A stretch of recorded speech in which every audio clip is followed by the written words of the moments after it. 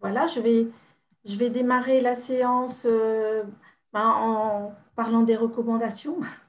Euh, on, en a, on, en a, un petit peu parlé tout à l'heure, hein, que la séance allait être enregistrée et, et visualisable sur YouTube.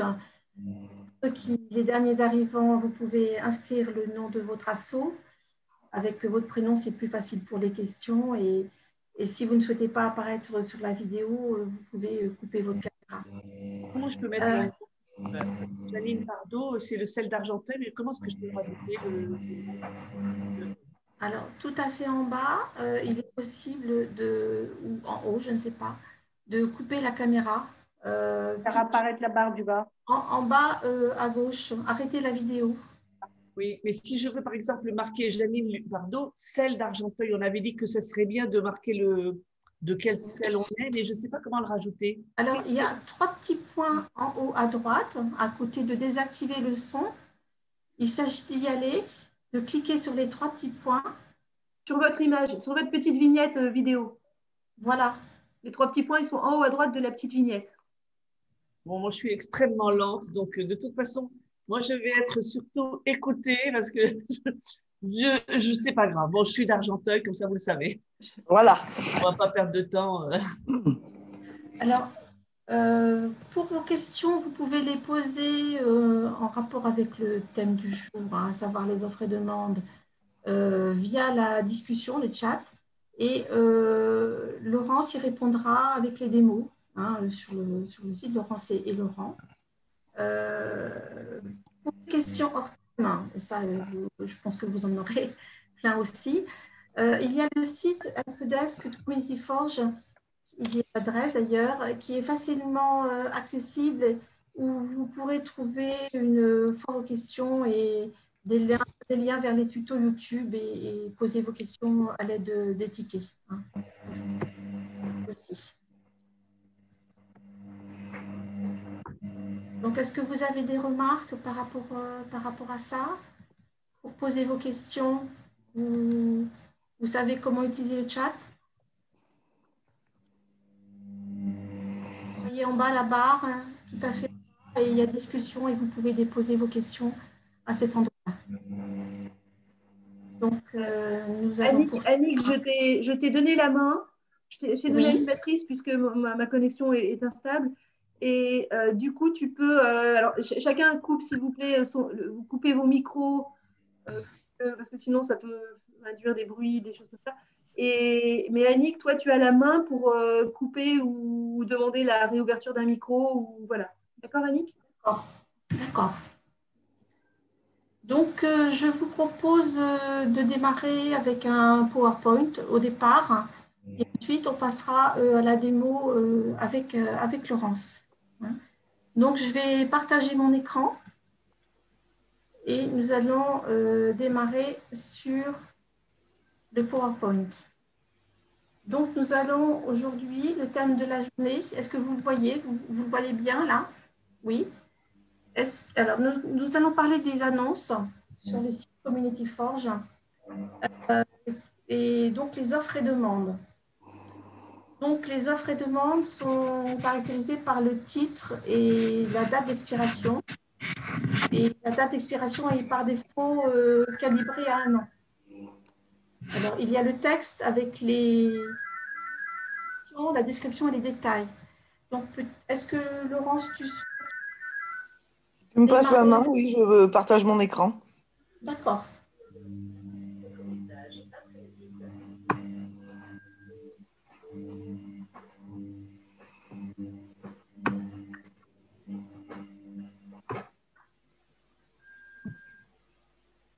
Voilà. Bonjour.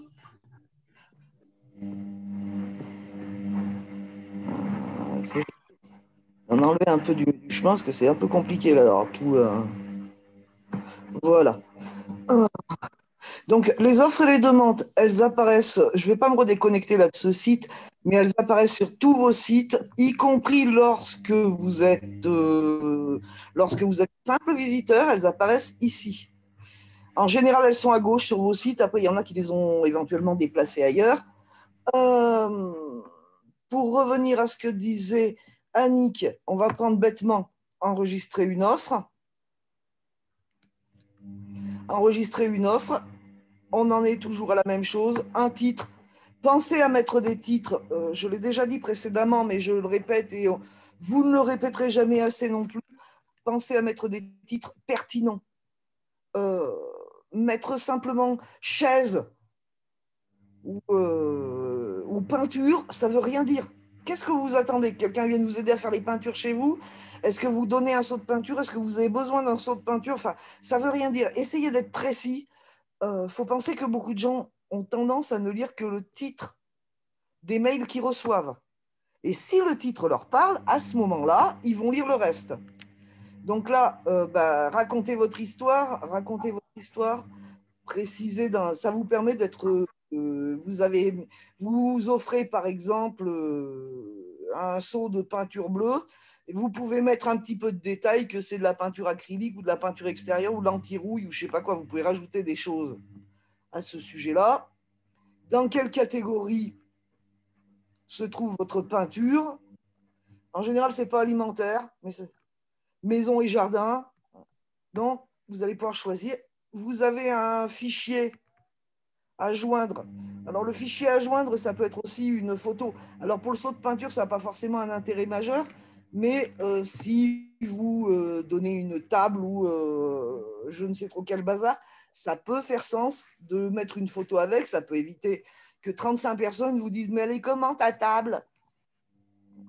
À savoir, petit détail, c'est lorsque vous allez envoyer votre annonce, la photo ne partira pas avec. Alors vous allez dire que c'est un peu nul que les photos partent pas avec, mais c'est aussi euh, pour limiter le poids, des, euh, le poids des mails et donc limiter aussi le polypostage. En fait, plus vos, plus vos mails sont lourds, plus vous polluez. Donc quelqu'un qui euh, veut savoir à quoi ressemble votre table, il va repasser sur le site, il va regarder l'annonce et il verra à quoi ressemble la table.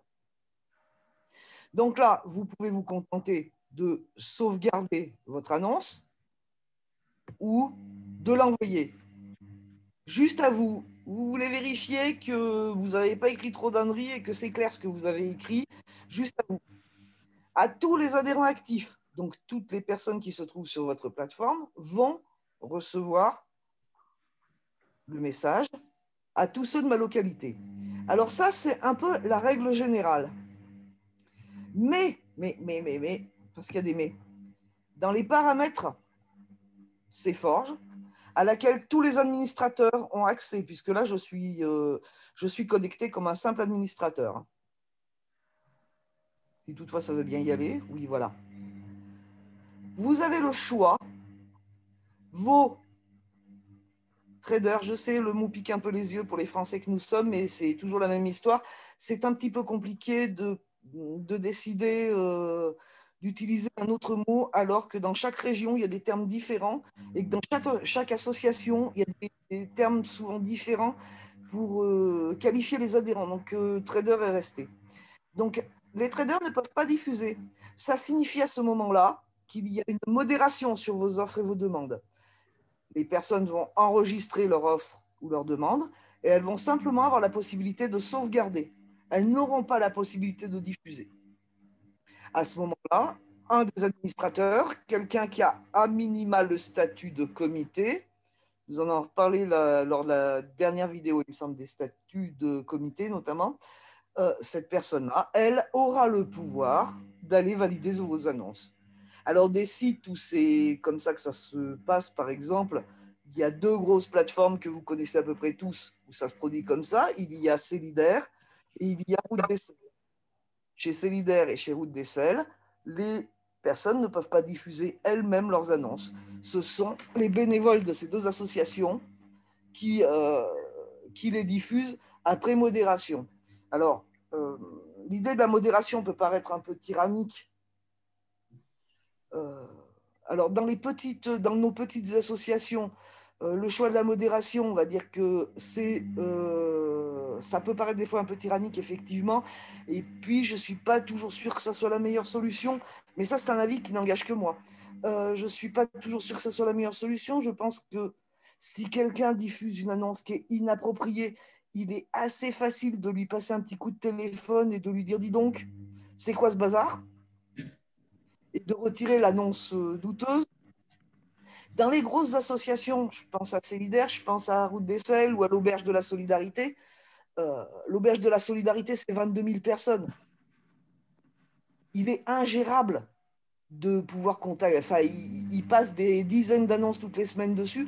C'est absolument ingérable d'aller euh, tout, de passer, que les modérateurs téléphonent à toutes les personnes qui, ont, qui auraient mis une annonce inappropriée et expérience euh, faite dans le passé de l'auberge, c'était la foire d'empoigne.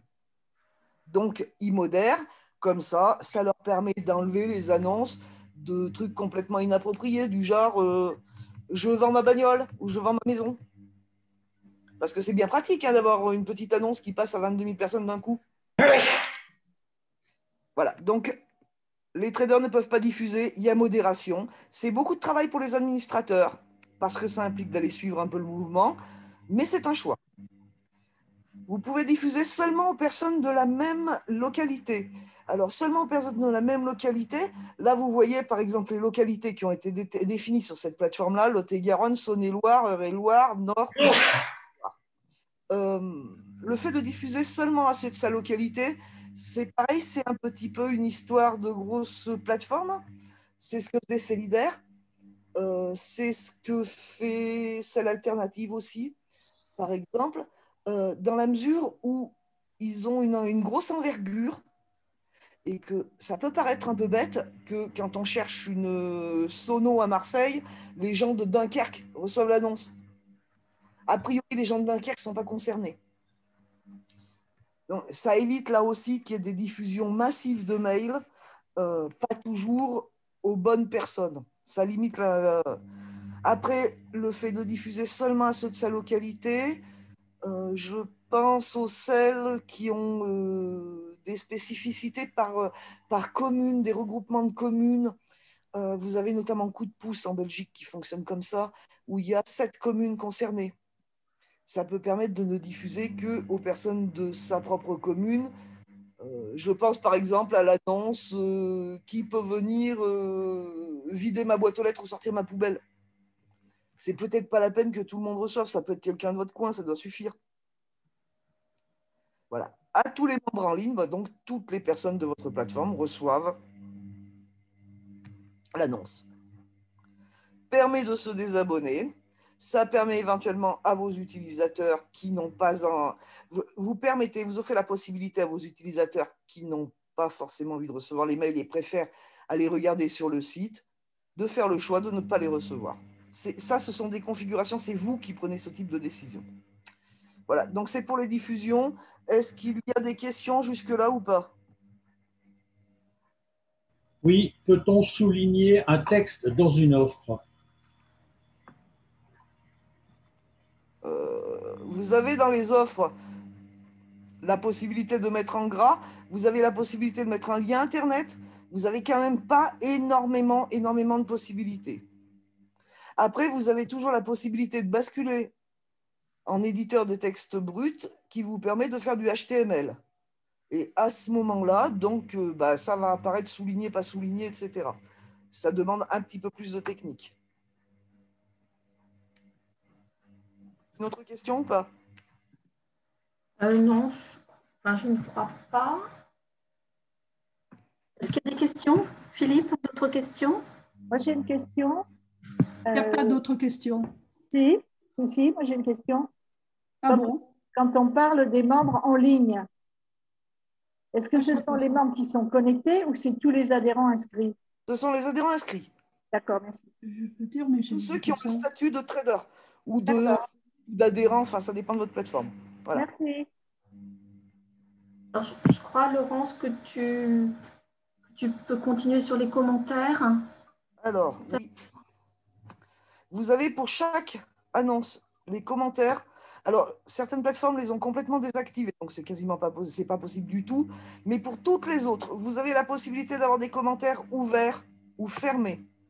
Le fait que les commentaires soient ouverts ou fermés fait que vous permettez aux gens de mettre du blabla en dessous des offres et des demandes, ou vous ne le permettez pas. Je vois ici, il y a Joe Demo qui avait fait un commentaire. Je ne sais pas quel sujet. Voilà.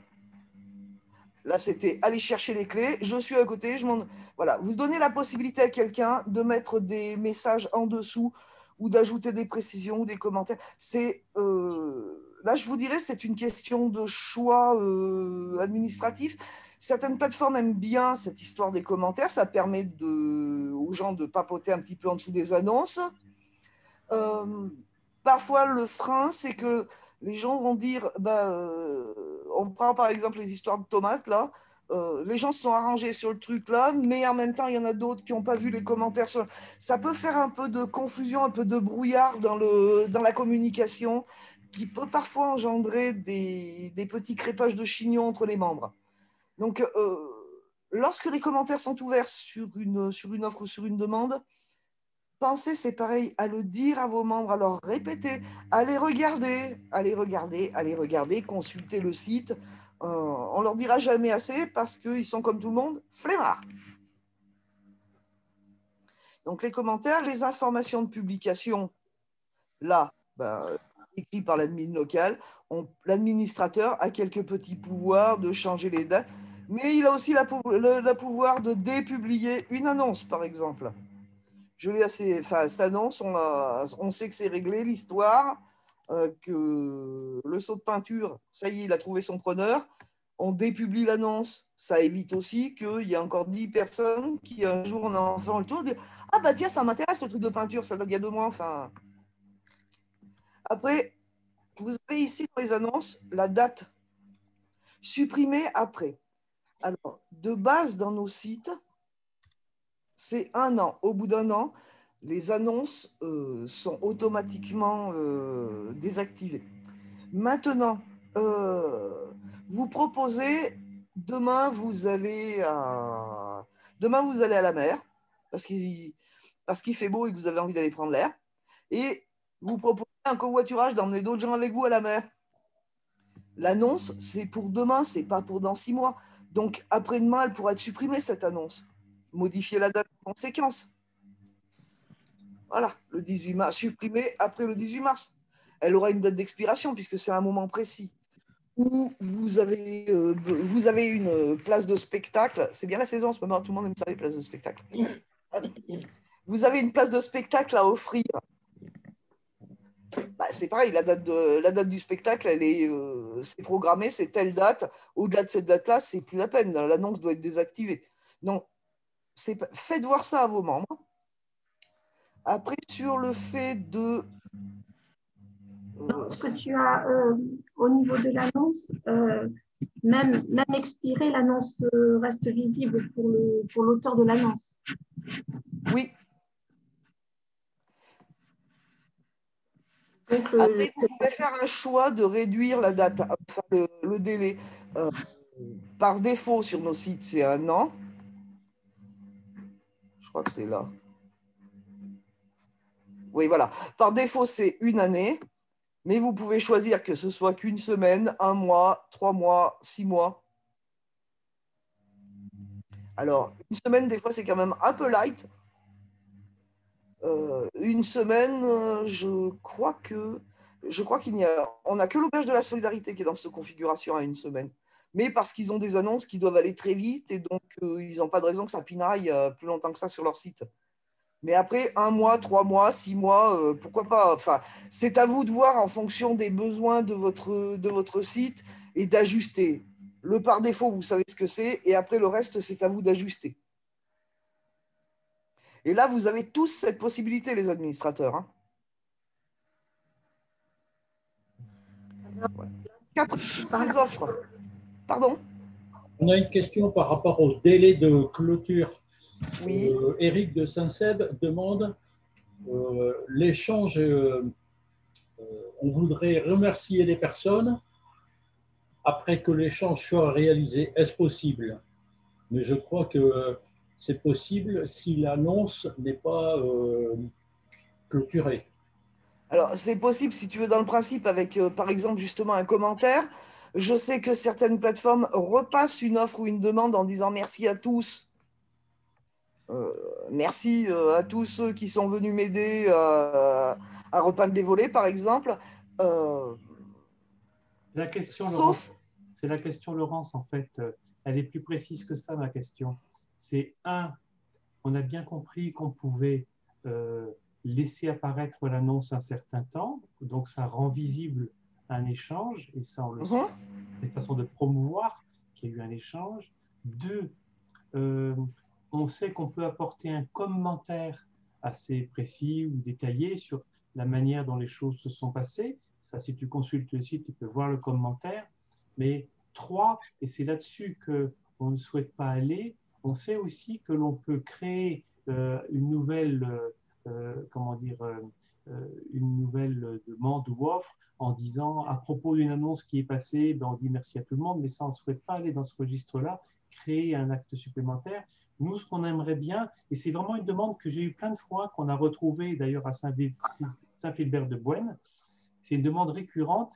beaucoup aimeraient qu'il y ait une fonctionnalité qui n'existe pas aujourd'hui qui permette à un administrateur ou à un utilisateur de dire, de même qu'il y ait un envoi euh, collectif euh, possible tout en bas envoyé à tous, euh, pour diffuser l'annonce, on aimerait pouvoir avoir un merci collectif ou dire c'est clos, merci à tous, merci à trois personnes, enfin c'était super sympa. Là aussi, c'est pour rendre vivant, attractif une action qui a été menée. C'est vraiment une fonctionnalité qui n'existe pas. Non, c'est une fonctionnalité qui n'existe effectivement pas. C'est quelque chose qui a été des... Il n'y a pas que dans ton sel que cette demande a déjà été, formulée. Euh, ce sera peut-être dans l'avenir avec euh, peut-être un principe de pouce en l'air. De... Enfin, mais pour le moment, c'est pas effectivement, c'est pas possible autrement que par les commentaires ou par le ou par le fait de rebalancer une annonce euh, en disant merci à tous, c'est fait. Ça. On connaît le chemin pour, entre guillemets, pour faire quelque chose, mais c'est un petit peu laborieux. Et, je sais qu'on avait parlé autrefois avec François, il dit, ben oui, dans la prochaine version, comme il y a beaucoup de demandes de ce style-là, on voudrait une fonctionnalité simple, tout de suite compréhensible par tous, euh, parce qu'il y a souvent des bugs. Enfin, le problème, il est d'abord là. Il, y a, il y a une dimension positive de promotion, mais il y a aussi un problème qu'on voudrait résoudre, c'est les retardataires dans les réponses euh, qui n'ont pas vu et qui ne savent pas bien consulter le site, qui se manifestent tardivement et qui sont un peu frustrés qu'il n'y ait pas de réponse. Mais celui qui est demandeur, il a été satisfait déjà depuis une semaine ou dix jours, il ne va pas se donner la peine de répondre à quelqu'un qui a mis sur le site quelque chose, un commentaire ou autre, tu vois. Donc là, ça permet de, de, clore entre les deux sujets, tout en gardant visible l'annonce. En sens, on veut garder, en termes de promotion, cette visibilité de toutes les dernières annonces qu'il y a eu. Il y en a eu pas mal, elles sont diverses. Et pour des visiteurs qui ne sont pas des, des, spécialistes du, sujet, ils se disent Ah, ben il se passe beaucoup de choses dans ce, dans, dans ce, dans ce réseau-là. Voilà. Je te dis, je sais bien, mais effectivement, ce n'est pas encore, euh, c'est pas d'actualité. ok. Hmm. Voilà. Alors, je reviens là à mes, à mes petites annonces. Vous avez ici ce qu'on appelle les taxonomies. Ce sont vos catégories, les différentes choses, administration, alimentation, artisanat, etc. Vous avez là aussi la possibilité éventuellement de les modifier. Euh, nous, quand on crée, nous, on crée des choses, on les crée avec euh, le plus de, comment dire, euh, la manière la plus générale possible. On va essayer de faire ça de manière à ce que ça corresponde au maximum de sites possibles. Mais il se trouve que, par exemple, dans votre selle, euh, vous avez plein de gens qui font du maraîchage et vous avez besoin de rajouter des catégories. Alors, ou sous la forme d'une sous-catégorie, on va prendre... Euh, je vais rajouter par exemple, ça veut bien. Voilà. Mhm.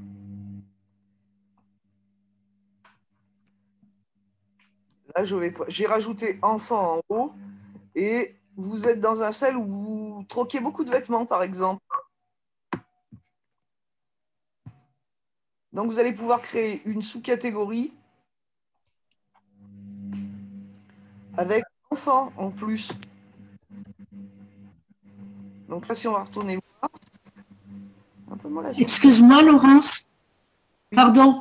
comment tu es arrivé à ajouter un terme? Il y avait quoi avant? J'ai pas eu le temps de voir, pardon. Market sector. Voilà. On va pouvoir rajouter différentes. On va pouvoir en rajouter au fur et à mesure des besoins que l'on a. Donc là, tu vas ajouter un terme. Je ne sais pas, vous avez beaucoup de des gens qui bricolent beaucoup. Vous, avez, vous pouvez être amené à rajouter des catégories ou à modifier des catégories. Je pense par exemple à celle-là qui est marquée mobilité. Mobilité, c'est très général. Alors ça peut inclure effectivement le covoiturage, le fait de demander le transport de je ne sais trop quel bazar avec quelqu'un qui a une remorque. Alors, euh, suivant vos selles, mobilité, ça fait peut-être pas sens. Euh, vous avez peut-être besoin de davantage de covoiturage et à ce moment-là, vous allez modifier la, dite catégorie pour que la question ne se pose plus. Ou vous avez, euh, vous avez besoin aussi de, de transport, donc de gens qui ont des remorques pour aller, je ne sais pas, balancer des cochonneries à la déchetterie et compagnie. Donc, pensez à ces taxonomies. Euh, vous pouvez éventuellement en ajouter, vous pouvez en retirer. Alors après, attention, euh, là, c'est une considération qui m'est là également personnelle, mais c'est aussi expérimental. S'il y a trop de catégories, ça casse les pieds des gens. Trop aussi. Pas assez, des fois, c'est pas une bonne solution parce que c'est pas pratique, mais trop, ça peut vite devenir pénible. Voilà, vous voyez tout à l'heure, j'ai rajouté, j'ai rajouté une sous-catégorie à vêtements. Là, je vais pouvoir choisir enfant. Ah, je ne vais pas en créer trop pour faire la différence, mais là, on va avoir enfant, adulte, etc. Ici, qu'il y a un micro qui fait plein des bruits bizarres?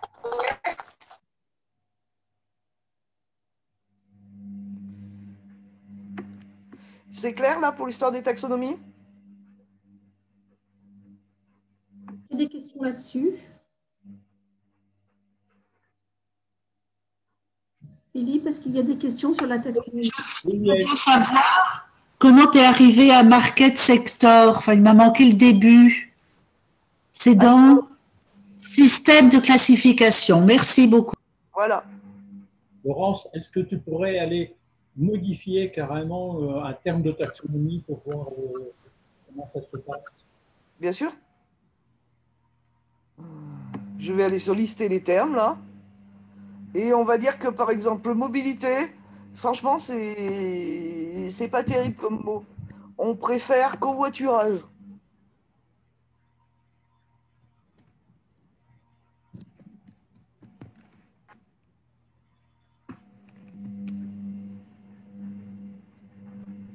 Et voilà. Vous voyez, la mobilité a disparu, à la place, c'est covoiturage. Tout simplement. Et covoiturage, on peut le mettre euh, en dessous de, dépendant de maison jardin, si on veut, si on veut bien. Ben, tu peux les déplacer, tu peux les réorganiser comme ça t'arrange, effectivement. Là, je veux déplacer covoiturage, je veux le mettre là, par exemple, parce que c'est un truc qui est beaucoup plus demandé que euh, je, peux, je peux les déplacer, je peux les remettre dans un ordre différent si ça m'arrange. Systématiquement, euh, là, d'origine, ils sont dans un ordre alphabétique. Après, euh, vous pouvez choisir un ordre différent. C'est votre, euh, c'est vous qui faites, c'est vous qui faites ces choix-là. Toujours la même histoire. Pensez à sauvegarder lorsque vous faites ce type de choix.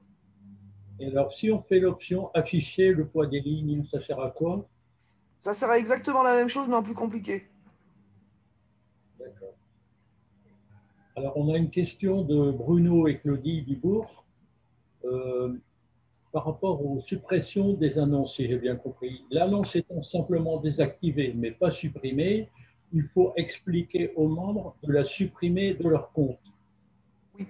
Alors, vous trouverez entre chaîne YouTube, vous avez un, un, tutoriel pour ça, mais tous vos membres ont cette possibilité. Ils peuvent aller sur leur compte. Si ça veut bien. Voilà. Sur tous les comptes, vous avez les offres et demandes émises par les personnes. Ben là, voyez, ça je tombe bien, celui-là n'a pas fait de demande. Il faut que je change de, faut que je change de victime.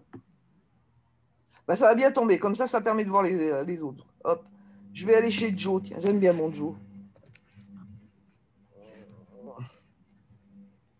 Voilà. Alors, Joe Demo, il est seulement ses. Voilà. Bah, lui non plus, il n'a pas d'offre. Voilà. Joe Demo, on va aller sur son compte. Joe Nemo peut voir toutes ses offres et ses demandes. Actuellement, Joe Demo, il a une, une offre de, de tomates là.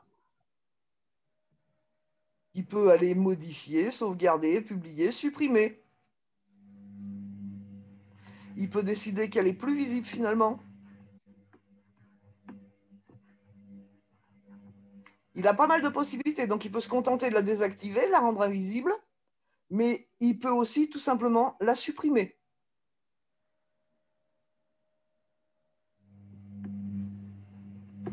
Je vais la laisser parce que je m'en sers pour le moment. Je ne vais pas modifier le truc. Alors aussi, euh, il y avait les annonces pérennes. Alors, les annonces pérennes. Euh, C'est un bloc, euh, il y, a- il y a ça sur certains sites. Il y a quelques sites, il y a notamment. euh, il y a Argenteuil qui a ça.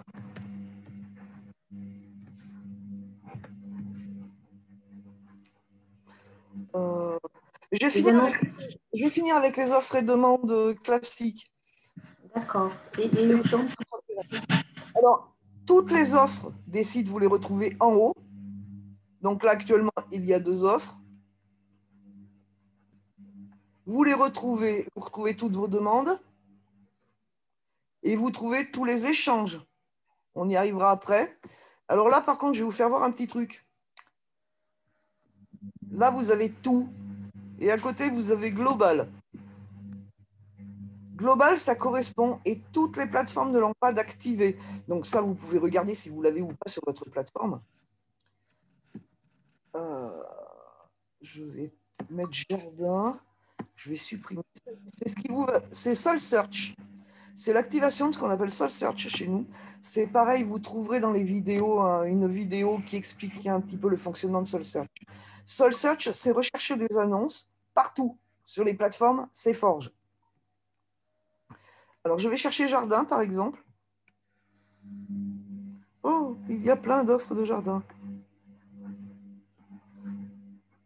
Donc, je peux voir des pieds de grosses ciboulettes à Épinal, qui est bien placé à côté de Marseille. Parfait. Je peux voir. Julien nous propose de planter des salades, des pois chiches. Alors, je vais aller au bout pour vous faire voir que non, on n'est pas euh, dans la diffusion de données personnelles et on va revenir à un truc parce que cette annonce-là, l'autre, ce matin, je l'ai repérée et donc je savais très bien que celle-là, par exemple, elle posait problème. Là, vous pouvez appeler Claude et il y a son numéro de téléphone.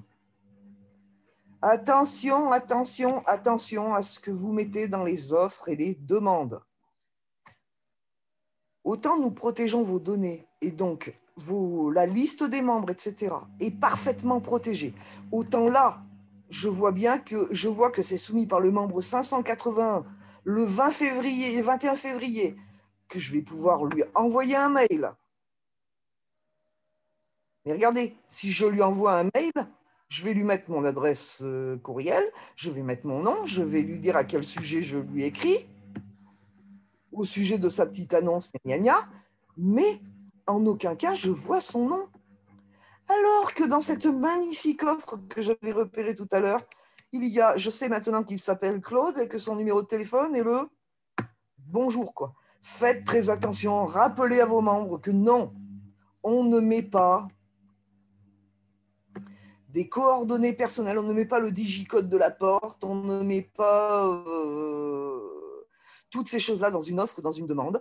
Lorsque vous publiez une offre sur votre site, les personnes qui souhaitent vous contacter, elles passent par membre, si elles par membre, et elles vont les avoir vos coordonnées. Si elles ne les ont pas déjà, enfin, si elles veulent vous téléphoner dans le dans l'annuaire des, des- du site, elles vont les trouver. Donc voilà, c'est quand même. Alors après, vous allez me dire à quoi ça sert Soul Search? Ça sert aussi à, à mutualiser les selles. Alors, il y a ce qui se passe à l'intérieur de votre maison. Là, vous avez des tomates, vous avez un test, vous avez un certain nombre de choses. Et puis, il y a ce qui se passe chez vos voisins. Et euh, ça peut être sympa aussi des fois de trouver des choses aussi chez les voisins. Ça permet de créer du lien. Euh, ça va quelque part avec la petite idée que si euh, tout seul on va très vite, et c'est quand même une des idées, enfin c'est quand même une des choses que Community Forge, pour lesquelles Community Forge milite depuis des années. Il est important, si on souhaite que l'essai ait un, un véritable pouvoir économique soit un véritable pouvoir, soit vraiment quelque chose de différent et pas juste euh, chacun dans sa petite assaut dans son coin. Ce sont des choses comme euh, Soul Search qui vont permettre ça. Alors là, je suppose qu'il y a des questions pour Soul Search. Euh, oui, Philippe, ah, question. Pas sur Soul Search.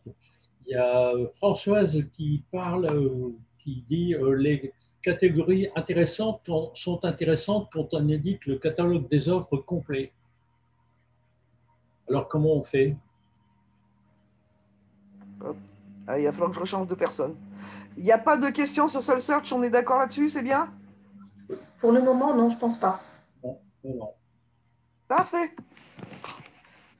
Ça, c'est tellement rare, parce qu'en général, les gens, ils vont m'embourber là-dedans et je m'en sors plus. Alors, je suis contente qu'il n'y ait pas eu de questions. Et ça va venir, ça va venir.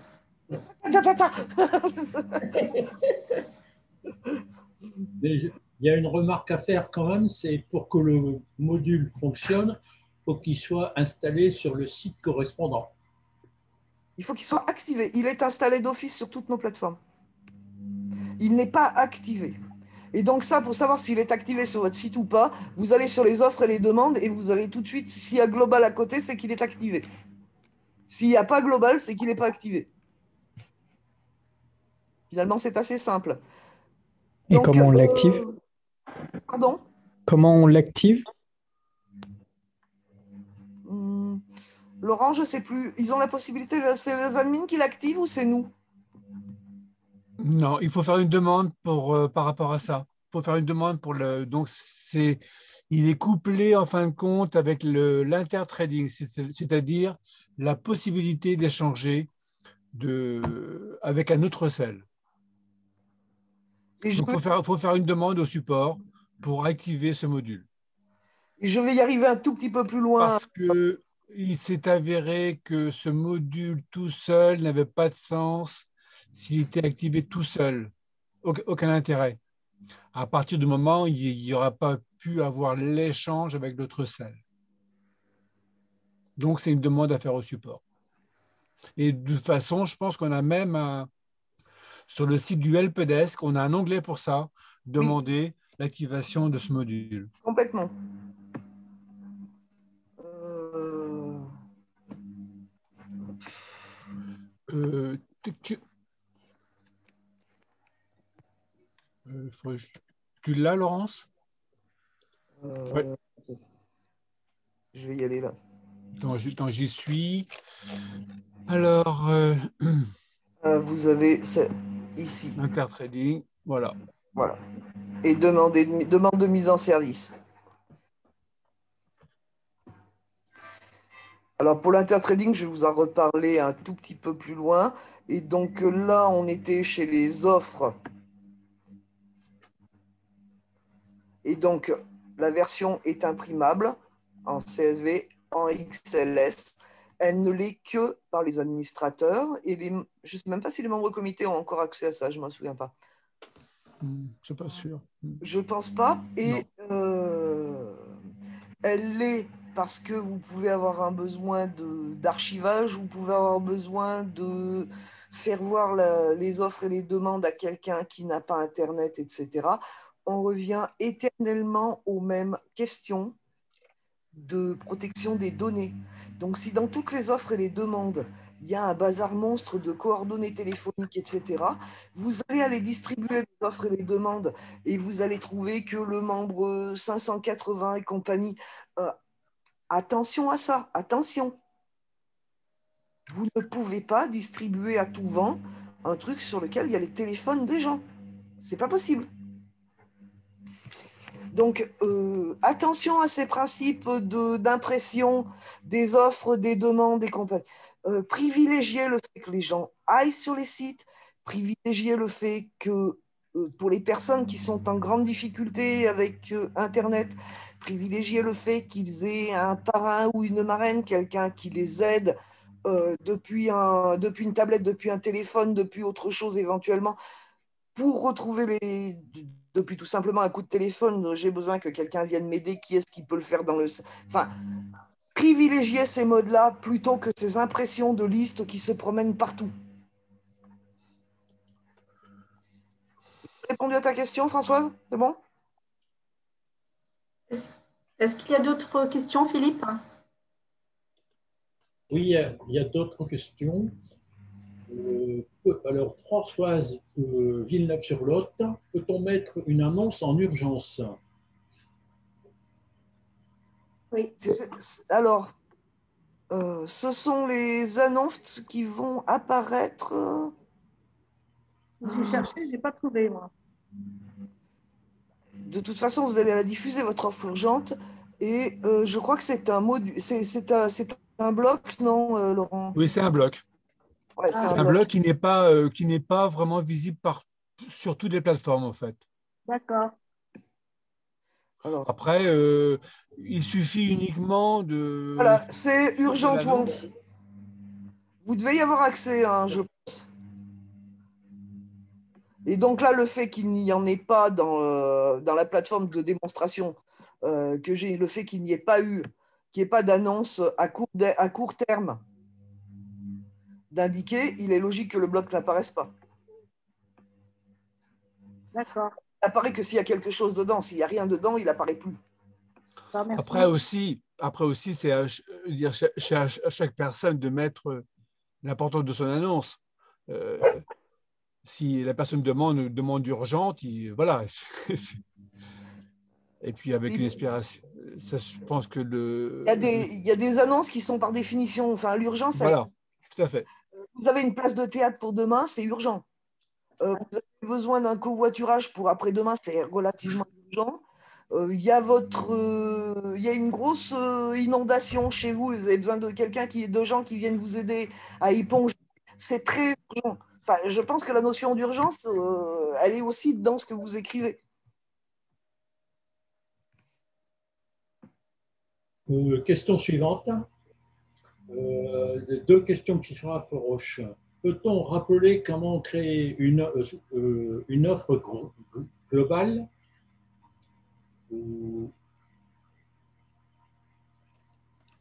et pas de possibilité de, régi- de rédiger une alerte générale dans les offres ou demandes Je ne comprends pas ce que signifie Non, la deuxième partie de ta question. Alors ça, c'est Eric qui demande pas, pas de possibilité de rédiger une alerte générale. Dans quel sens? Une alerte globale, qui peut- qui peut s'exprimer? C'est pas bien formulé.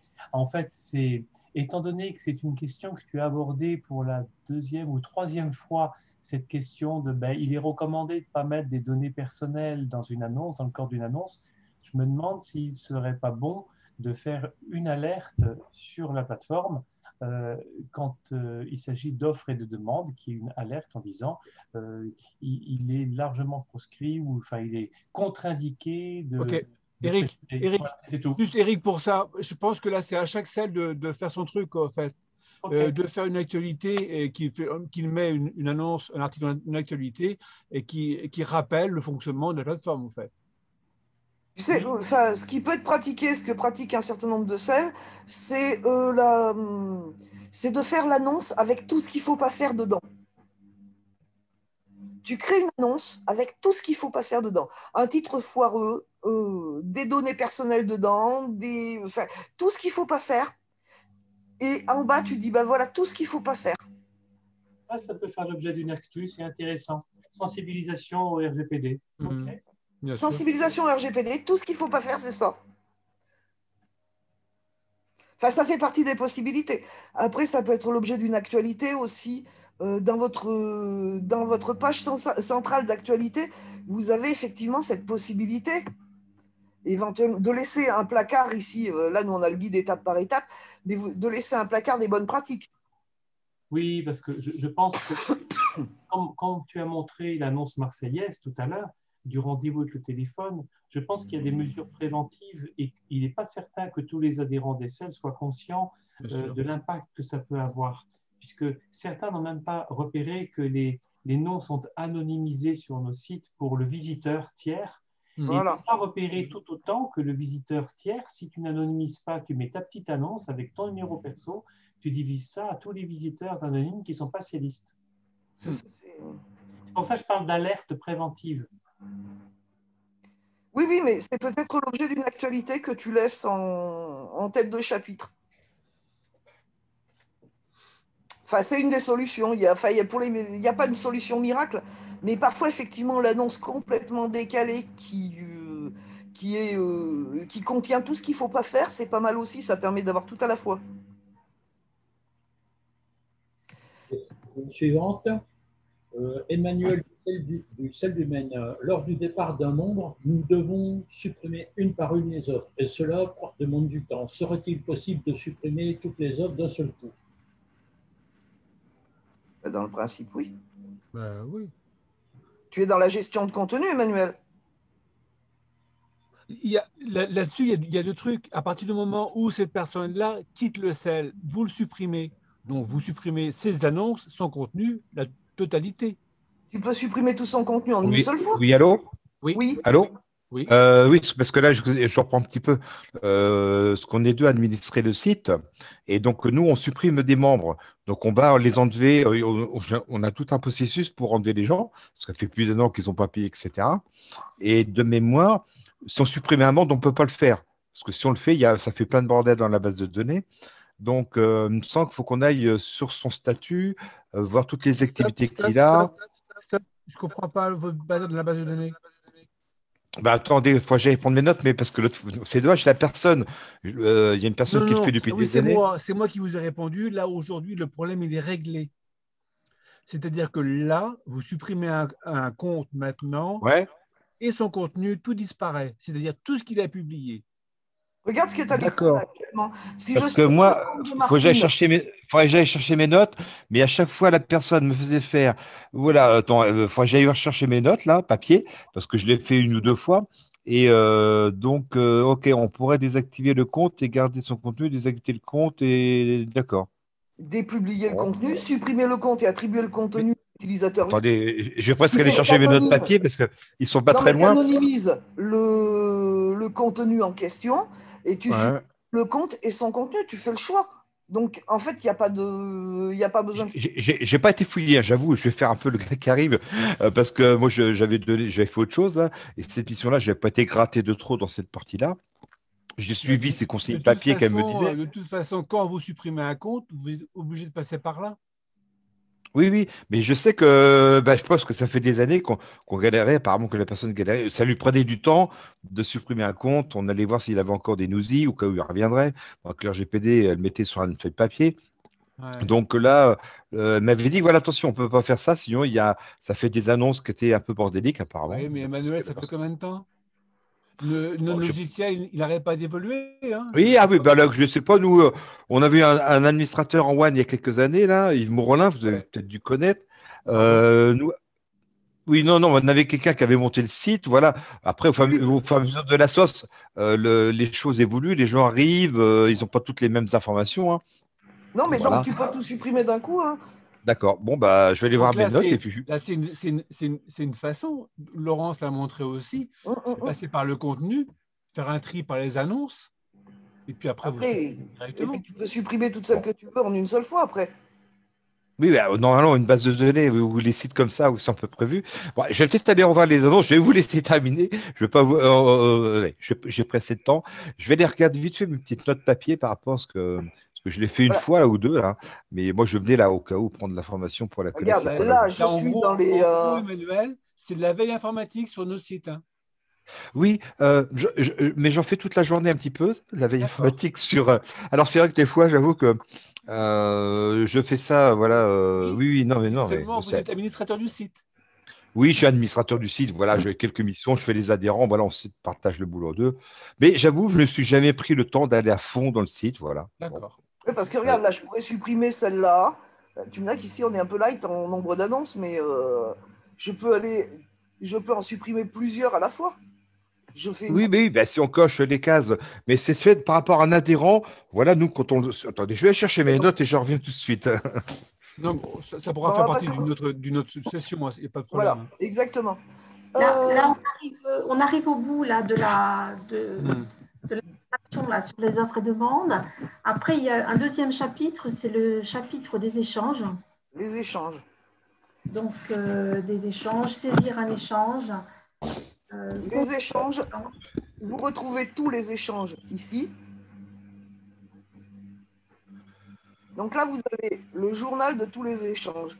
Sur cette plateforme, deux échanges ont été faits. euh, qui a reçu, qui a donné. euh, Joe Demo a donné. Et il a donné quoi? Deux unités. Enfin, donc là, j'ai la liste de tous les échanges. Et je peux avoir aussi le rapport. Toutefois, il veut bien. Et oui, il veut bien. Le rapport, ça vous permet de trier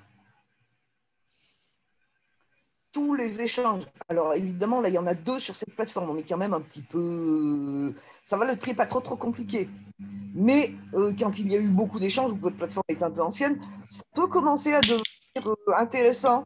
Alors, vous allez trouver un certain nombre d'informations ici qui sont, euh, comment on va dire, énigmatiques. Mais même pour nous, hein, c'est énigmatique. C'est-à-dire D'une fois à l'autre, on ne se rappelle plus.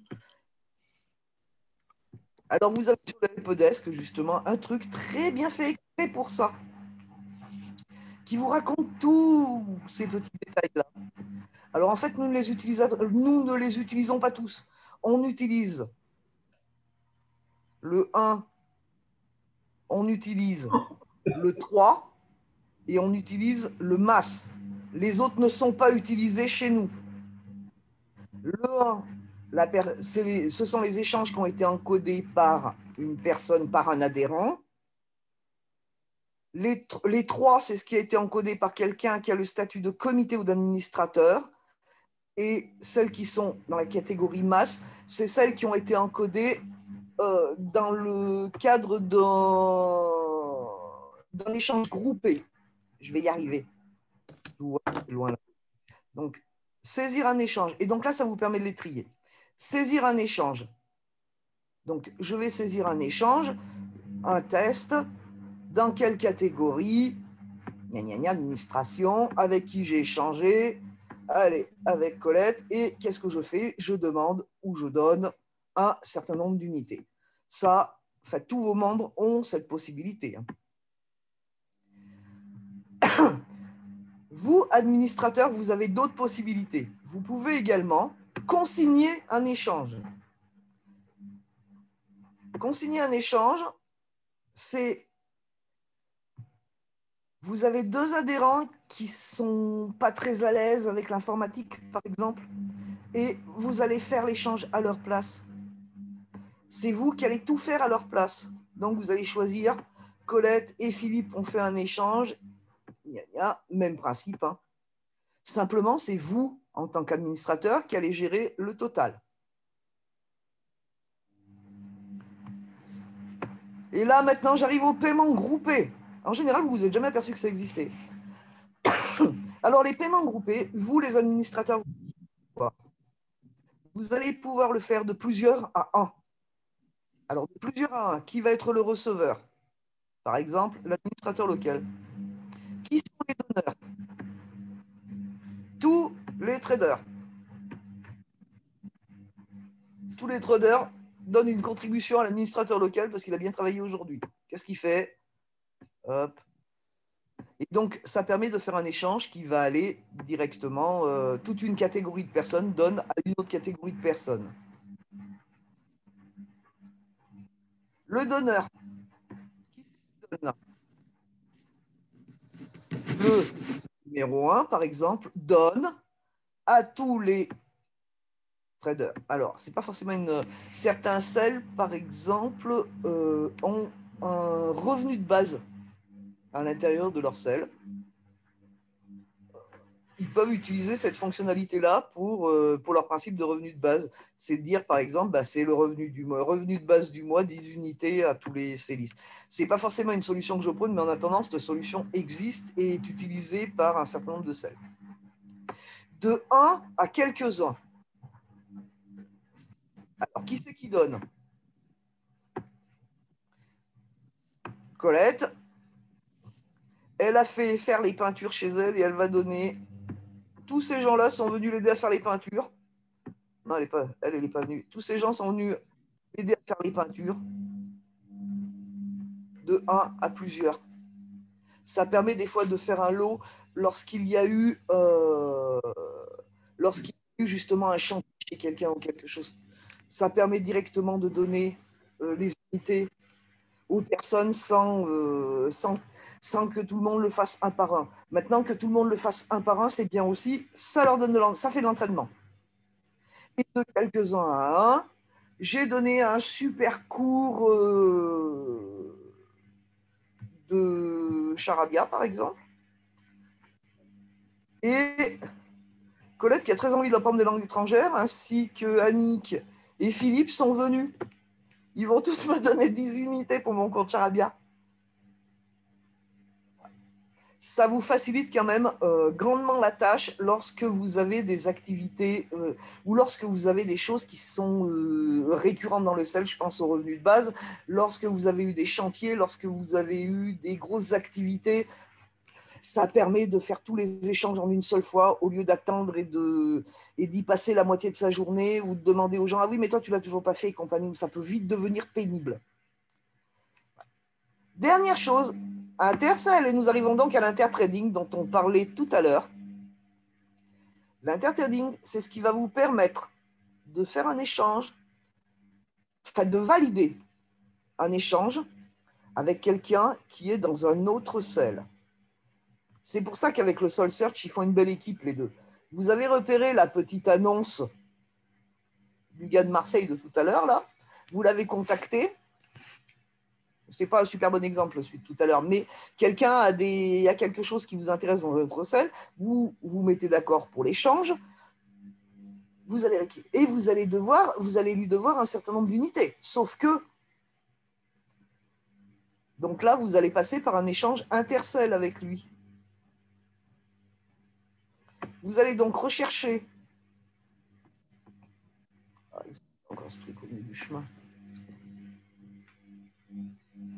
Par exemple, euh,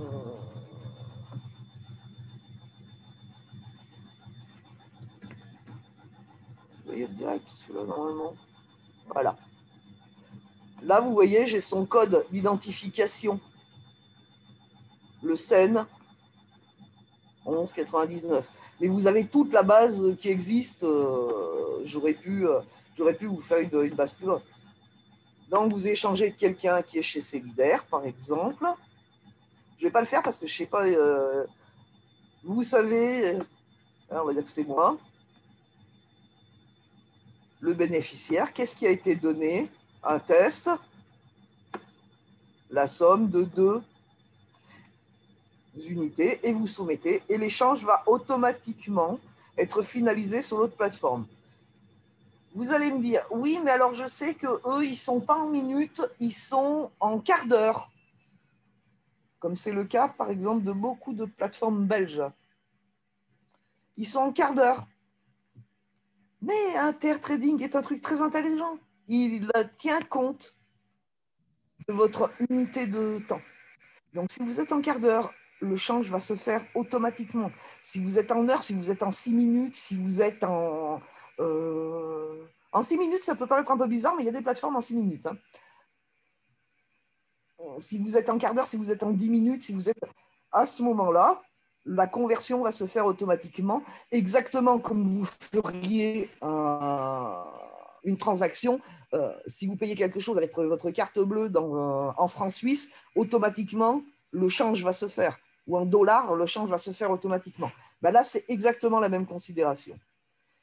Et euh, là, vous êtes dans une interface. Vous ne visualiserez pas ce qu'il y a sur le compte de Sixteen. Vous n'avez pas cette possibilité. Au même titre que lorsque vous faites un virement euh, PayPal, etc., vous ne voyez pas ce qu'il y a sur le compte de la personne à qui vous envoyez un virement PayPal. Ben là, vous êtes exactement dans la même configuration. Donc, il y a une grande sécurité là-dessus et ça vous permet de directement finaliser vos échanges d'une plateforme à l'autre au lieu de passer par toutes sortes de systèmes tordus. Parce que des systèmes tordus sur les salles, j'en ai déjà vu pas mal dans ce domaine-là. Hein, entre ceux qui passent, euh, le plus simple, c'est ceux qui ont un compte d'échange avec l'extérieur sur leur propre site, mais il y en a qui passent des fois avec un courrier qui va de comptable en comptable. Ça peut vite devenir très compliqué et très fastidieux, les échanges intercelles. Donc là, un échange intercelle, ici, si les deux, si les deux, les deux protagonistes viennent de plateformes où Intertrading est installé, l'échange peut être fait directement. Et qu'est-ce que c'est simple? Et qu'est-ce que ça soulage les administrateurs des sites? Des questions? Alors, est-ce qu'il y a des questions, Philippe, par rapport, euh, ben, par rapport à ce qu'a ce qu'a dit Laurence? Oui, oui, Annie Dussel me fait remarquer, a fait remarquer que on peut utiliser cette option, par exemple, pour faire payer 60 grammes pour une cotisation annuelle. Par exemple, euh, ça peut être le cas d'un impôt, effectivement, euh, enfin, d'un impôt entre guillemets ou d'une cotisation, absolument. Donc là, à ce moment-là, tu fais un paiement groupé. J'ai une question par rapport aux, offres et aux offres de demande. Euh, Françoise de Villeneuve nous dit euh, Je ne comprends pas si le, si le site est accessible uniquement aux adhérents, chacun a accès à tout, y compris des adresses et téléphones. Il euh, faudrait qu'elle nous explique. Peut-être que c'est cette notion de, des numéros. Mais Françoise, le truc, je suis bien d'accord avec toi, tu as forcément accès aux membres de ton CEL. Ici, moi j'ai vu l'annonce passer par Joe je vais pouvoir aller contacter, je vais pouvoir contacter Joe. Euh, ou en passant par son contact, ou là, bah, évidemment, j'ai, euh, comme c'est des, euh, comme c'est des comptes bidons, évidemment qu'on n'y a pas foutu des numéros de téléphone, et encore moins le mien parce qu'il sert à tout le monde. mais là, j'aurais pu trouver le numéro de téléphone de Joe Demo, et à ce moment-là, je passe un coup de téléphone à Joe Demo. Et c'est en ça que je, je dis qu'il faut bien rappeler aux membres que sur leurs offres et leurs demandes, ils n'ont pas besoin de mettre leurs coordonnées. Alors attends, je vais juste poser une question.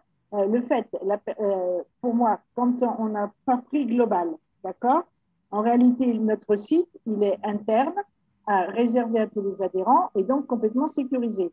Donc dedans, on peut mettre des adresses, des téléphones, n'importe où.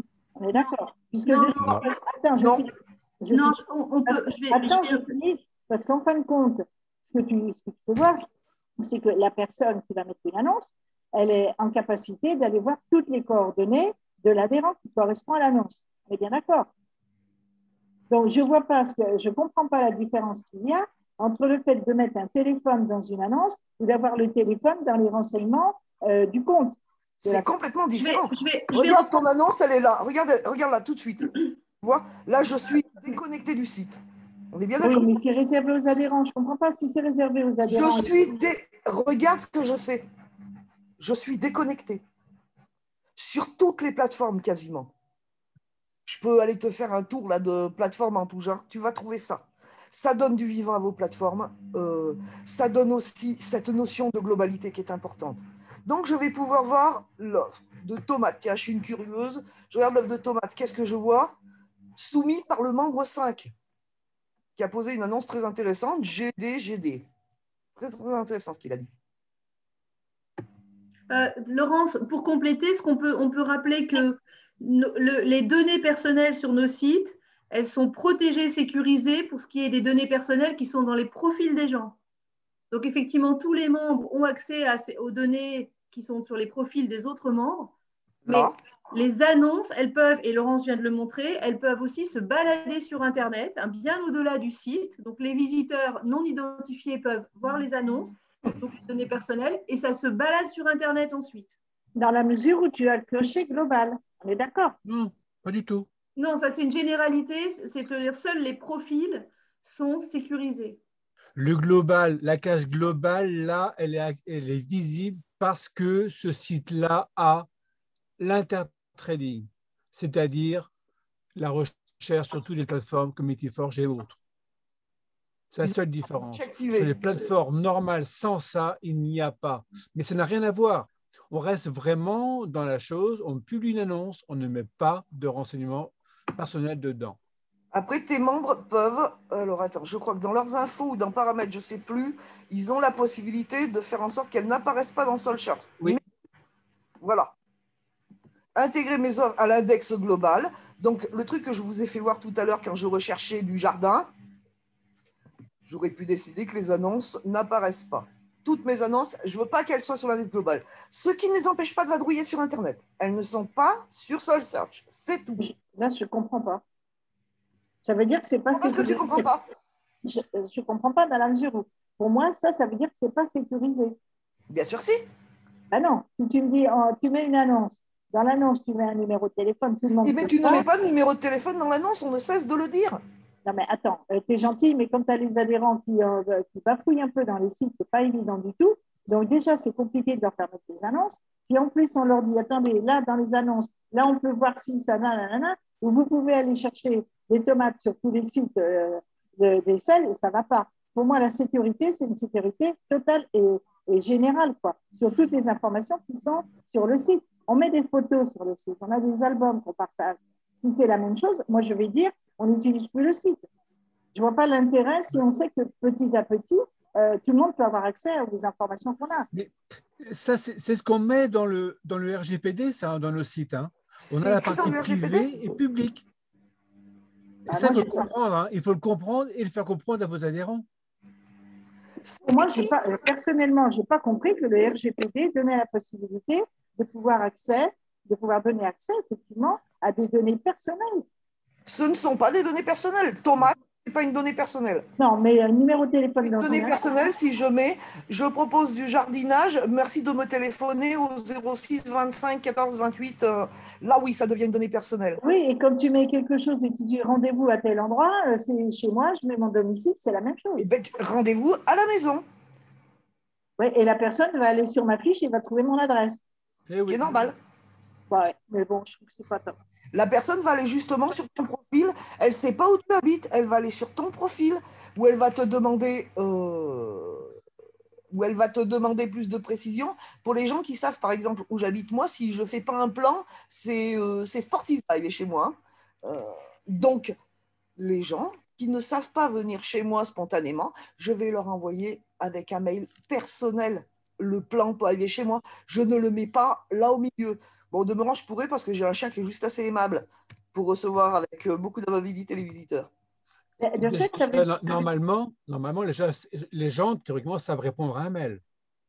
Non, pas forcément. Enfin bref, c'est pas le problème. Le problème, c'est que quand on fait des actualités ou des événements, si je fais un événement, je vais mettre un nom, euh, une adresse, je vais mettre un plan pour y aller. D'accord? Donc, euh, on va aider, par exemple, quand on fait une assemblée générale ou quand on fait quelque quelque chose, actuellement, on essaie de faire chez les uns et les autres, on va mettre un plan pour s'y retrouver. Tu Ça mets pas un plan, tu l'envoies aux gens qui ne savent pas faire exclusivement et par un mail privé. Non, mais c'est- un boulot de dingue, je ne peux pas faire ça. Il y a le site, c'est justement l'avantage, c'est de partager avec tout le monde. Donc, Il y a euh, un truc super génial, hein, ça s'appelle euh, Waze, sur tous les téléphones portables, on peut mettre ça. hein. Ça permet d'aller de pratiquement toutes les adresses sont le, géolocalisées dessus. hein. Le sujet que je soulevais tout à l'heure, excusez-moi d'intervenir, euh, si on va sur un site comme Le Bon Coin, au moment où tu passes ton annonce, Françoise, dans Le Bon Coin, on te dit ne pas mettre votre numéro de téléphone personnel là, à cet endroit-là. Là où tu biblies ton annonce, il ne faut pas mettre ton numéro. Parce qu'il s'est indiqué, partout, tu regarderas, que personne, ton, ton interlocuteur, tous les liseurs de, du Bon Coin, ne voient pas tes coordonnées personnelles, sauf si tu as l'innocence de marquer dans ton corps d'annonce tes coordonnées personnelles. Et il y en Et a encore, ils les jettent. Le Bon Coin les jette maintenant. Si tu as cette licence-là, par exemple, le Bon Coin désactive ton annonce directement. Tout à fait, tout à fait. Mais c'est pas, c'est pas très vieux ça. Non, non. Mais bon, je ne pensais pas que sur le, site de communauté, c'était comme ça. D'où mon sujet que je suis, j'insiste beaucoup. Je pense que dans le corps du cadre général des plateformes, il devrait y avoir cette petite alerte qu'il y avait autrefois sur le Bon Coin pour éviter que, ben, comme crois, Françoise, et tellement d'adhérents ne se rendent pas compte que si c'est toi qui mets les, les, indications dans ta petite annonce, ben, euh, ton numéro de téléphone, j'entends, euh, eh bien, c'est diffusé à tout le monde. Alors qu'autrement, tu as un numéro anonyme. Françoise n'existe pas. Tu as le numéro 827 et personne ne peut savoir que 827, c'est toi, Françoise. La RGPD permet sur les sites CommunityForge d'anonymiser tout, sauf ce que tu publies euh, et qui est visible par tout le monde. Tu regarderas en faisant ce qu'on appelle un mascarade. Hein. Donc, tu pas un autre, tu, mets, tu mets une personne qui, pardon, sans mascarade, sortir du site, désactiver et regarder sur Internet un visiteur lambda, passer liste, il y accède à, ces éléments-là, mais anonymisé avec un numéro. Sauf que quand il regarde, tiens, c'est quoi une annonce sur un sel Il regarde, il voit cherche tomate et il voit un numéro de téléphone personnel parce que ben, quelqu'un a eu le malheur de le marquer. Et moi, ce que je souhaiterais, c'est qu'il y ait cette alerte euh, sur toutes les plateformes euh, de, de Célidaire, de Comedy Forge, pardon, euh, qu'on dise attention, mettez pas votre numéro personnel, sinon il sera, il sera visible. Ça serait trop, trop, trop difficile actuellement de mettre. Aujourd'hui, on a un, un, onglet qui s'appelle politique de confidentialité. Non, mais est-ce qu'il n'y a pas possibilité à partir du site d'empêcher les gens de mettre directement leur téléphone? Non. Comment tu veux que je fasse? Non. Comme ils font sur euh, Le Bon Coin ben, c'est toi qui vas les désactiver. Dans Le Bon Coin, c'est ce qu'ils font. Hein. Dans Le Bon Coin, ils vont te mettre ton annonce à la poubelle, c'est tout. Oui, non, mais pourquoi pas Mais euh, faire, faire, quelque chose, parce que moi, franchement, je tombe de haut là. Hein, au niveau de, de, la Donc, tu vas mettre les annonces concernées à la poubelle. Moi, je pas, Et là, si tu prends par exemple, tu vois, je reviens, euh, là j'étais de, de nouveau sur Soul Search, j'ai trouvé un prêt divers livre échelle à Louis double. Je vais pouvoir, c'est le membre 36. Alors elle a précisé qu'elle s'appelait Thérèse, mais c'est quand même pas un gros, euh, dégât. Il n'y a pas ses coordonnées. Et là, je vais lui mettre mon courriel, je ne vois pas son courriel, je n'ai aucune de ses coordonnées, je ne sais pas. Et si la personne en question ne me répond pas, eh ben, elle ne me répondra pas, je ne saurai jamais d'où ça sort. Enfin, j'aurai jamais aucune de ses coordonnées, je ne saurai jamais ni qui c'est, ni rien du tout. Juste, j'aurais tenté ma chance, elle avait un truc qui m'intéressait bien, j'aurais tenté ma chance. Alors nous sommes d'accord, il y a bien une garantie de confidentialité.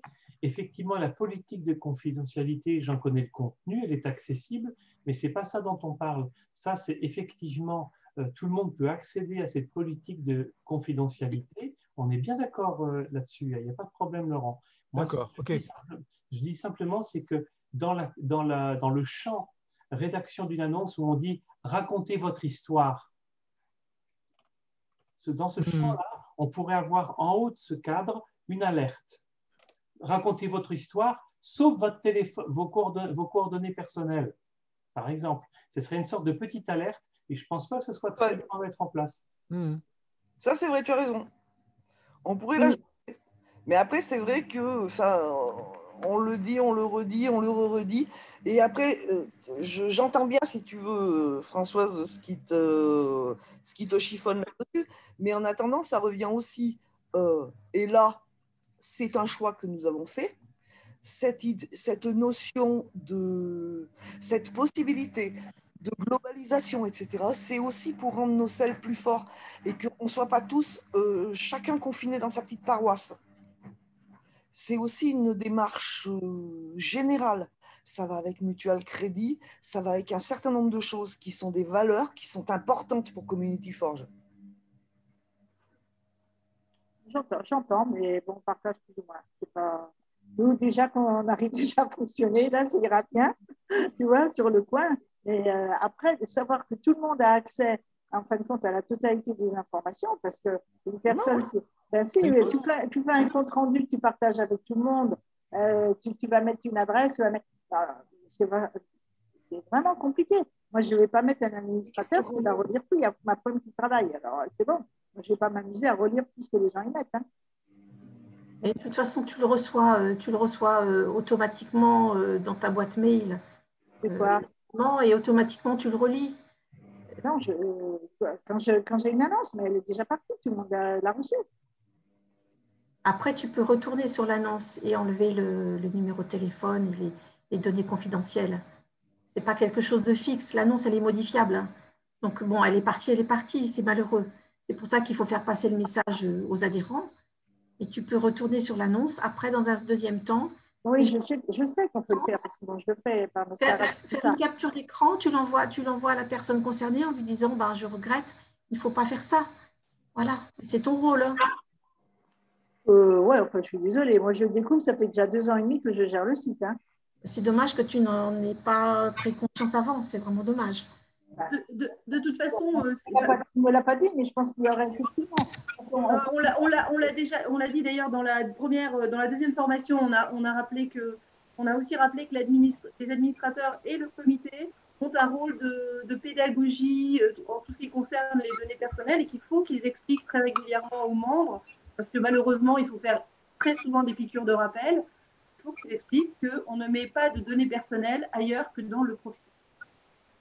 Après, on peut. Est-ce que ce serait pas plus simple, comme nous propose Eric, de, de mettre une alerte de rappel? Voilà, parce que les gens, on leur dit dix fois, mais la onzième fois, ils mettent leur téléphone. Bon, On met une petite alerte de rappel, c'est c'est pas compliqué quand même non plus. Hein. Ah, Il y a les nouveaux adhérents aussi. Hein. Les nouveaux adhérents, on n'est pas derrière chaque nouvel adhérent. Alors, les, les- les Mais nouveaux ça, je adhérents, suis désolé, j'interviens une fois de plus là. Là, c'est dans les chartes des selles. Dans vos chartes, vous les faites signer aux gens, les chartes de confidentialité par rapport au site, par rapport à tout ça. Donc ça, c'est écrit. C'est à vous de le faire le travail, là, quand même, là, une part, là. Et puis, et puis par ailleurs, Laurent, je, te- je complète ce que tu dis, c'est que toute personne à qui on crée un, un compte, à qui vous créez un compte, euh, est, invitée à prendre connaissance des- de, de- de nos politiques de RGPD en allant sur un lien et ensuite à- est invitée à faire j'accepte, exactement comme on peut Oui. recevoir pour tous les sites sur nos téléphones ou nos PC régulièrement. Donc, euh, le nouveau membre, alors c'est vrai que d'une part, il doit accepter les données euh, de l'association, enfin les- la, la charte de l'association, comme ça le Laurent, et d'autre part, pour le site, il doit aussi accepter les, les- les contraintes Hmm. euh, liées à la RGPD. Et c'est comme En ça tout ça, faire En fait, après, les gens. C'est c'est pas pratique. Enfin, ce serait plus simple de le leur rappeler au moment où ils créent une annonce, point barre. Non, Parce qu'effectivement, attendez, attendez, attendez, on n'est pas flic hein, de Bruxelles. hein. parce que si on fait ça, on va nous reprocher de l'avoir fait à un, un moment ou à un autre. Donc c'est à vous. Non, là, je ne suis pas d'accord. hein. C'est à vous, euh, administrateurs euh, locaux, de faire ce travail-là. Tout dépend de votre charte, au fait. Tout dépend de votre charte. Je voudrais faire deux remarques pratiques. Euh, moi, ce que j'ai fait, c'est, je ne fais pas grand-chose d'ailleurs, mais je me suis créé sur ma boîte mail une liste particulière, je l'appelle celle anime ou n'importe quoi, machin chose, mistigris, euh, et je mets la liste des mails des personnes concernées par, euh, par une activité. Et, et comme ça, l'envoi de, l'envoi de mails euh, d'informations privées, ou, euh, c'est, c'est fait automatiquement, ça fait qu'un mail et ça envoie à tout le monde. Oui, là, c'est- là, c'est hors du sel, là. Oui, C'est mais c'est hors du site, là. Là, c'est hors, du- c'est hors du site pour les Ah, informations sensibles, on va dire. Ah oui, oui, mais ça, ça, c'est vos- Et, et chacun ça, c'est gère ses- c'est pratique parce que ça fait pas. euh, J'envoie un mail à chacun, quoi. On fait la Mais liste et ça, hop. c'est euh, votre façon de gérer vos mails. Oui, oui, oui. Mais pour, toutes les, pour tout ce qui est euh, tout ce qui concerne le sel, on peut avoir une liste mail des, des personnes concernées en dehors du avec les informations sensibles. C'est ce qu'on a quand on fait des relances et tout, on fait à partir de la, de la liste. Bah oui, avec à la la liste. limite, à ce moment-là, la- de la liste, ben, on envoie les offres et les demandes pareil, par, G- par Gmail. Nous, on a Gmail, on met la... que, Alors, attends, moi, ça me fait peur. hein. savoir, regardez justement l'écran que Laurence nous montre là actuellement par rapport au RGPD. Par rapport au RGPD, là actuellement, le site test qui est ici, je vais sur RGPD, hein, vous l'avez tous, hein, ça, sur vos sites. hein. Oui. Les personnes qui ont accès aux données des utilisateurs. Donc, ce sont les gens qui, sur ce site-là, sont administrateurs ou comités. Alors, évidemment qu'on ne leur a pas vraiment mis des noms, mais ce sont ceux-là. Les personnes qui, chez Community Forge, ont des responsabilités dans ce domaine-là, ce sont tous ces gens-là. On est d'accord?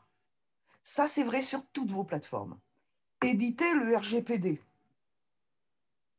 Vous avez des troubles du sommeil, vous pouvez le RGPD ici. hein.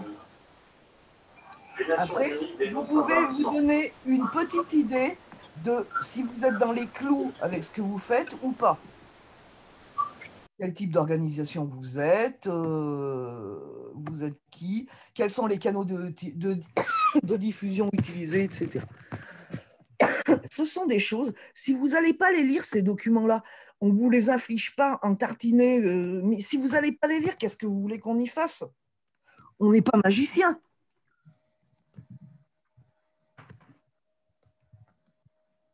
Alors, après, c'est super casse-pied, hein, les trucs du RGPD. On en est conscient, mais enfin, en même temps, cette loi-là, c'est pas nous qui l'avons inventée, on vous jure. Je crois, Laurence, qu'il y a un tout petit malentendu. Je pense que c'est sans doute ça qui explique le, le, le couac là, de, de, notre échange sur cet aspect-là. C'est que bon, le, le, RGPD, c'est un truc très compliqué, ça tu viens de l'indiquer, et tout le monde ne se coltine pas, ne se farcit pas, ne mesure pas la portée. En revanche, tous les utilisateurs de nos plateformes de Community Forge, tous sans exception, connaissent la petite case Racontez votre histoire. Et le malentendu, c'est que tous les utilisateurs n'ont pas compris que Racontez votre histoire, c'est une petite fenêtre qui est comme le mur de Facebook, c'est visible par tous. Donc dans la petite histoire, il ne faut pas raconter euh, notre histoire intime qui ne regarde que nous et laisser l'histoire. Ouais, c'est ça l'histoire. Le malentendu vient de là, je pense. Ok, ok, ok. Mais c'est à, vous de le, à vous de le mentionner, ça, c'est pas à nous. Hein. Après, effectivement, on pourrait ajouter dans le truc, éviter de mettre vos données personnelles dedans. Mais, euh, Mais on l'a dit, je sais plus, je sais plus où. Ça a été dit lors des formations précédentes. hein. C'est un On l'a sujet. dit, on le redit, on, est, on, est, on, on a des tickets par rapport à ça.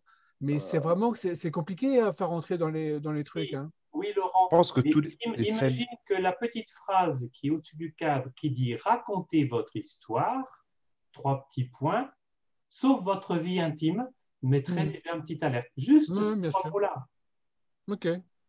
Vrai. Tout le monde n'a pas ça, c'est quoi? C'est raconter votre histoire. Euh, juste un petit truc, euh, euh, je pense que beaucoup de celles ont le même problème au niveau du RGPD. Tout le monde met son numéro de téléphone. Les- nous, les deux tiers ou la moitié. Personne chez nous. Non? Oui, mais- non, tout le monde, j'exagère. Beaucoup de gens le font. Déjà, nous, la moitié des gens mettent euh, leur offre uniquement dans le titre, jamais dans le détail. Et on a beau le dire et le redire, donc c'est impossible. Le truc qui peut être aidé à la feuille d'adhésion, c'est de dire une case les annonces sont lues par Google. Faites attention avant de mettre votre numéro de téléphone. Il faut que presque sur les feuilles d'adhésion, euh, même au renouvellement, que tout le monde soit conscient. Éventuellement, ça peut peut-être limiter à la feuille d'adhésion papier parce qu'il y a un humain qui va parler à un autre humain qui lui dit rappelle-toi, euh, puisqu'on a beau le dire et le redire, c'est- la fracture numérique. Vous pourrez, je connais très bien les je gens. sais qui- pas. Moi, j'habite en pleine zone rurale. La moyenne de nos adhérents doit être autour des 70 ans. Euh, alors, où vraiment, c'est des warriors et euh, ils sont super bien nourris, ils ont un potentiel d'enfer, je sais pas. Mais nous, euh, des annonces où dans le titre, c'est pas convenablement, ça n'existe plus. Des annonces dans lesquelles Parce que vous avez passé du temps à les former? ça n'existe plus. Eh ben, bah, oui, c'est ça, exactement. Ah, ben je sais, mais je, mais connais le problème. C'est le temps formé. bah Nous, oui, il n'y a mais pas ça de marche, train, il n'y a pas de Ça truc. marche, il y a très longtemps qu'on le fait plus. Combien vous avez d'adhérents? Mais on n'a pas terminé la formation là. Il reste encore. Pardon, mais- Oui, Annie, je voudrais, je voudrais juste compléter, c'est que ce que vient de dire Emmanuel, c'est tout à fait juste.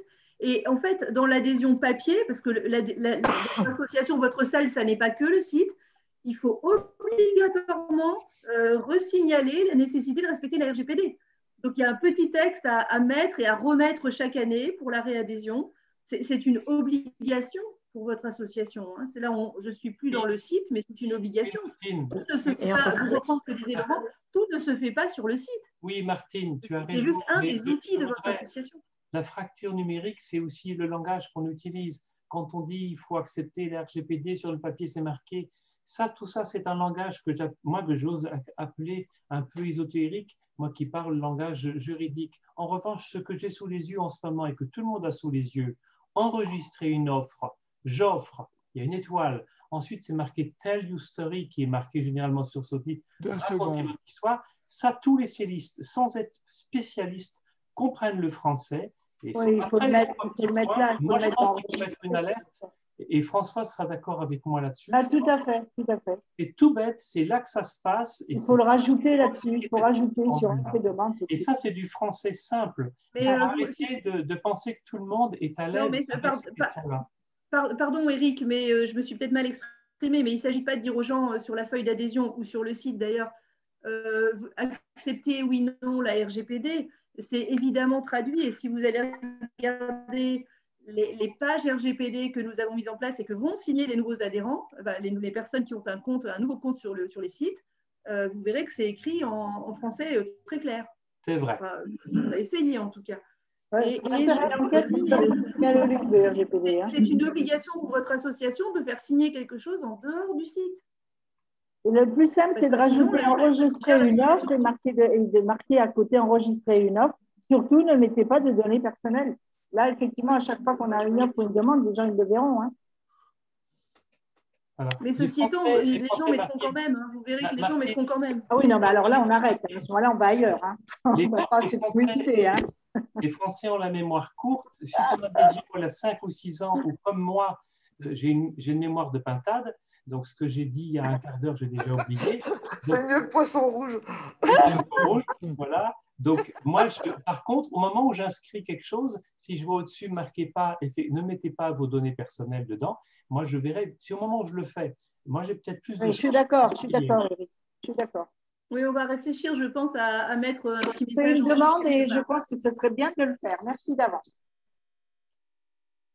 Euh, D'où qu'on en est, Annick? Oui, il reste un petit bout à, à aborder, euh, la visualisation des échanges sur le site, sur le compte adhérent, sur, euh, voilà, sur, euh, sur le site, bien évidemment. Alors, sur le compte de l'adhérent, vous avez tous ces échanges qui apparaissent ici. Alors, je ne sais pas s'il y en a eu sur celui-là. Oui. Il a eu deux échanges avec Joe Demo. Là, vous voyez tous les échanges qui ont eu. Et normalement, tous les membres ont ce type d'accès. Alors, euh, il y a des plateformes où ça a été éventuellement désactivé. Pourquoi est-ce que vous pouvez aller voir euh, qui a échangé avec qui? C'est pas ni pour du flicage ni pour rien, c'est au contraire, c'est pour, euh, pour montrer que votre site est vivant. Vos selles sont vivants quand il y a eu des échanges dessus, même quand les échanges ont été éventuellement à zéro ou à un, à une minute. C'est que vous avez, euh, vous avez donné éventuellement de votre temps pour un certain nombre de choses, puis vous dites Ah, non, ça va, euh, ça fait zéro. Ben, c'est important d'aller le formaliser sur le site et euh, c'est d'autant plus important, je pense, actuellement. Alors là, je fais une petite aparté, mais pitié, pas de polémique là-dessus, je fais juste une petite aparté.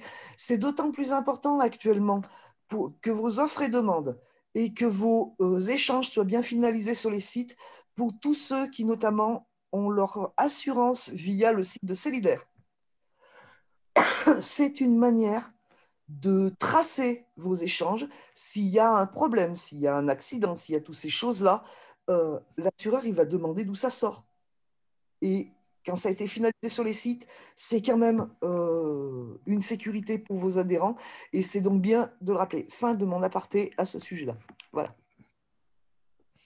Donc, les échanges, vous les retrouvez ici, et c'est ce que je disais tout à l'heure avec le fameux rapport. Alors là, vous allez retrouver l'intégralité des échanges. Vous, vous êtes administrateur, et puis vous allez dire non, mais attends, ça c'était n'importe quoi. Ou alors c'est juste un essai que vous avez fait pour faire voir à quelqu'un, vous allez avoir le pouvoir de le supprimer.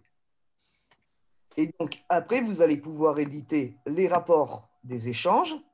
Et donc, regardez les échanges qui éventuellement sont en attente, ceux qui n'ont pas encore été validés par l'autre partie. Lorsque vous allez faire un échange, Martine échange avec Philippe. Martine, elle va demander trois unités à Philippe. Puis Philippe, euh, bah, il est un peu dans la lune, il ne fait pas attention et il ne va pas valider l'échange. C'est un échange qui va rester en attente et vous aurez la possibilité de le voir. Là, ceux qu'on a ici sont en état acquitté. Ils pourraient donc être en état d'attente euh, patiemment sur le site que l'autre partenaire. Donc, vous, ça vous permet éventuellement, en tant qu'administrateur, d'aller relancer, par exemple, Philippe et de lui dire Dis donc, tu pourrais peut-être aller valider les échanges de Martine parce qu'elle en a un peu marre d'attendre ses unités. Ça vous permet ça. Euh, ça vous permet éventuellement pour vos assemblées générales, euh, pour les celles qui aiment bien formaliser un peu le nombre d'échanges qu'il y a eu, dans quel, euh, dans quel type et compagnie qui aiment bien, vous allez pouvoir formaliser ça, vous, allez pouvoir les extraire. Vous allez pouvoir faire une exportation. Qui là va être d'une grande pertinence probablement. hein. Le sens déjà, ça va être d'une très très grande pertinence, ce qui va apparaître. Vu le nombre de données qu'il y a dedans, ça va être magnifique. Est-ce qu'il y avait des, des questions, Philippe Oui, il y a encore euh, une question. Euh, C'était une personne qui, c'est Saint-Médard qui demandait euh, l'onglet Insert Cell sera-t-il activé auto- automatiquement si on fait une demande au helpdesk? Donc, Je lui ai répondu euh, Alors, vous avez un formulaire sur le helpdesk exactement prévu à cet effet. Alors, pourquoi un formulaire? Vous allez peut-être dire que l'histoire du formulaire, c'est. On est un peu chiant-chiant avec nos formulaires. hein. Euh, demande de mise en service de l'intertrading, ici. Alors, pourquoi? Notamment par rapport à un truc que je vous ai dit, c'est que nous, on a besoin d'un certain nombre d'informations pour vous rentrer sur la plateforme qui va assurer l'interface entre vos deux celles, ce qui va faire que vous ne voyez pas le compte de l'autre personne. Euh, pour faire un, un qui est quelque chose que tout le monde, enfin beaucoup de gens d'entre vous, beaucoup d'entre vous connaissent, c'est le principe de PayPal. Euh, vous pouvez avoir un compte au Crédit Agricole et l'autre personne à la caisse d'épargne, vous n'allez voir que l'interface de PayPal. C'est un peu le même type de principe.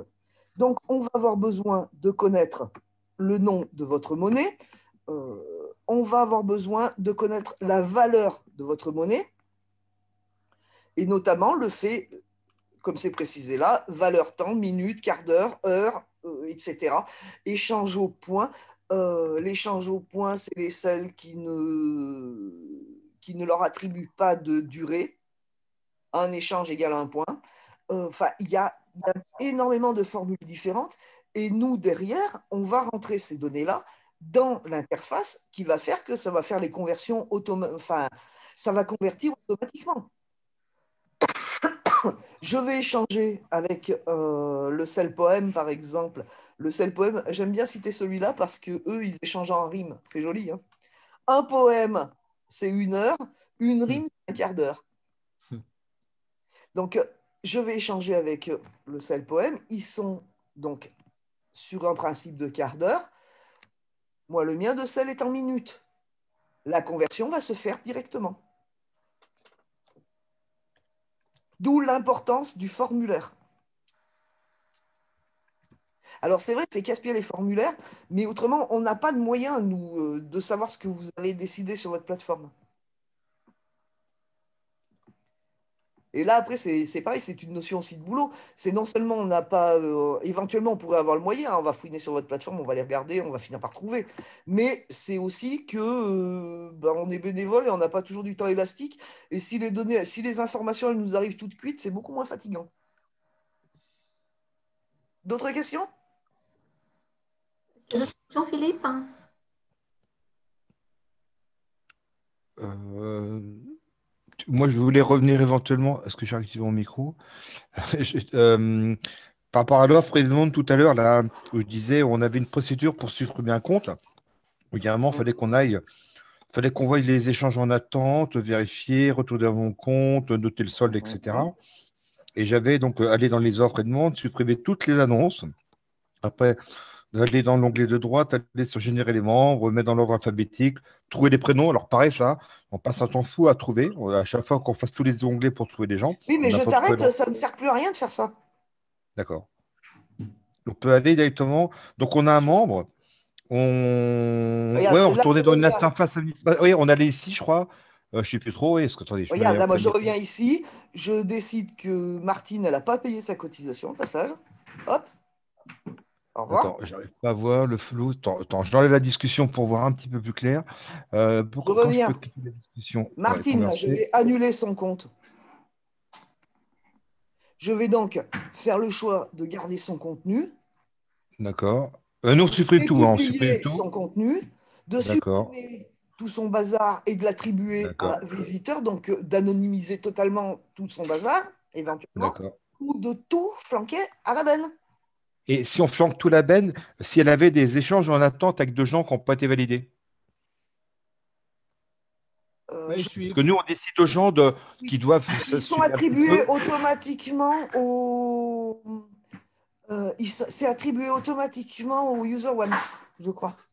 D'accord, parce que nous, on allait voir la personne qui a, oublié, elle a oublié de valider un échange. Bah, donc, on dit éventuellement, on cette va valider, vérification. voilà. Voilà ça, on vérifie ça et après, éventuellement, cette vérification.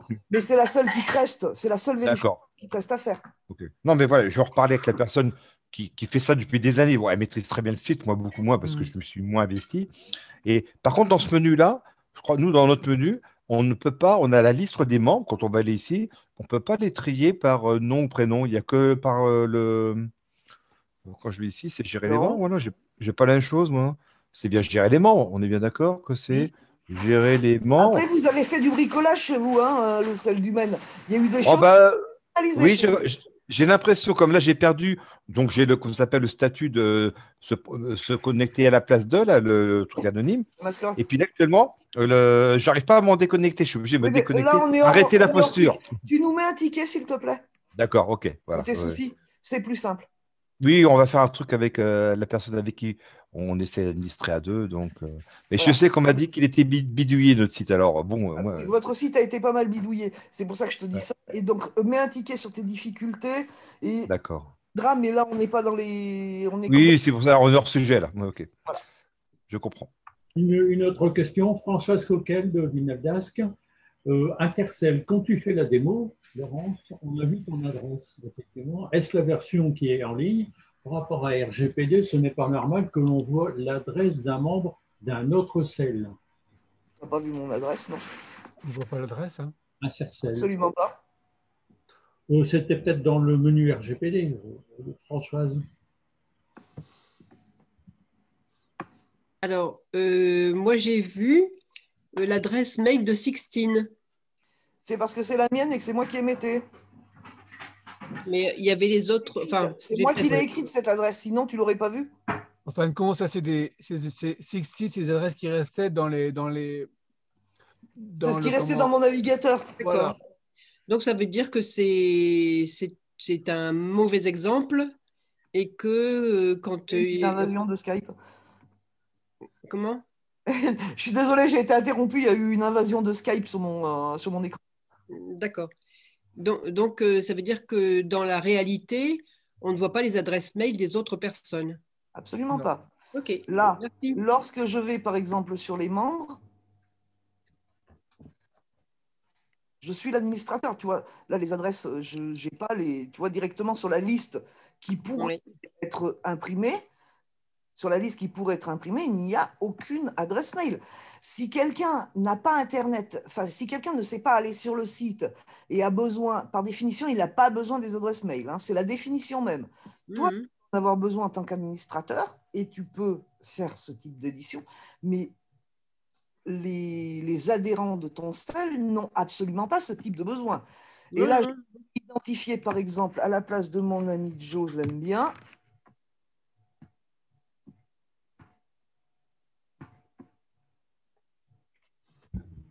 Voilà, je suis identifié à la place de Joe. Joe, il a super envie de faire la conversation à Anne. Il va aller à son contact. Oui, oui. L'adresse mail, celle-là, c'est la mienne. Je ne vois pas l'adresse de Joe. Celle-ci. Oui, oui, je, je suis d'accord. Je suis Voilà. d'accord sur euh, le sur l'onglet membres, mais c'était dans ta démo quand tu étais sur Intercell et que tu allais Pareil. Sur un une autre de cache, hein, une fois de plus. hein. C'est son nav- navigateur qui a été chargé. D'accord. Comme, Là, on comme est- vous remplissez un formulaire, un formulaire de n'importe quel site, des fois on vous propose des, des mails, donc le vôtre. Et donc là, c'est en fin de compte, c'est l'historique des mails, que, des, des textes qu'elle a, qu'elle a tapés, Laurence, quoi, en fait. quoi. Voilà, c'est l'historique de tout ce que j'ai. euh, Voilà. D'accord. Regarde, si je reviens ici sur Global, euh, je- la question ne se pose pas. Une question donc suivante de Yann du Merci. Ne serait-il pas plus sécure de ne pas donner l'accès aux annonces pour le public?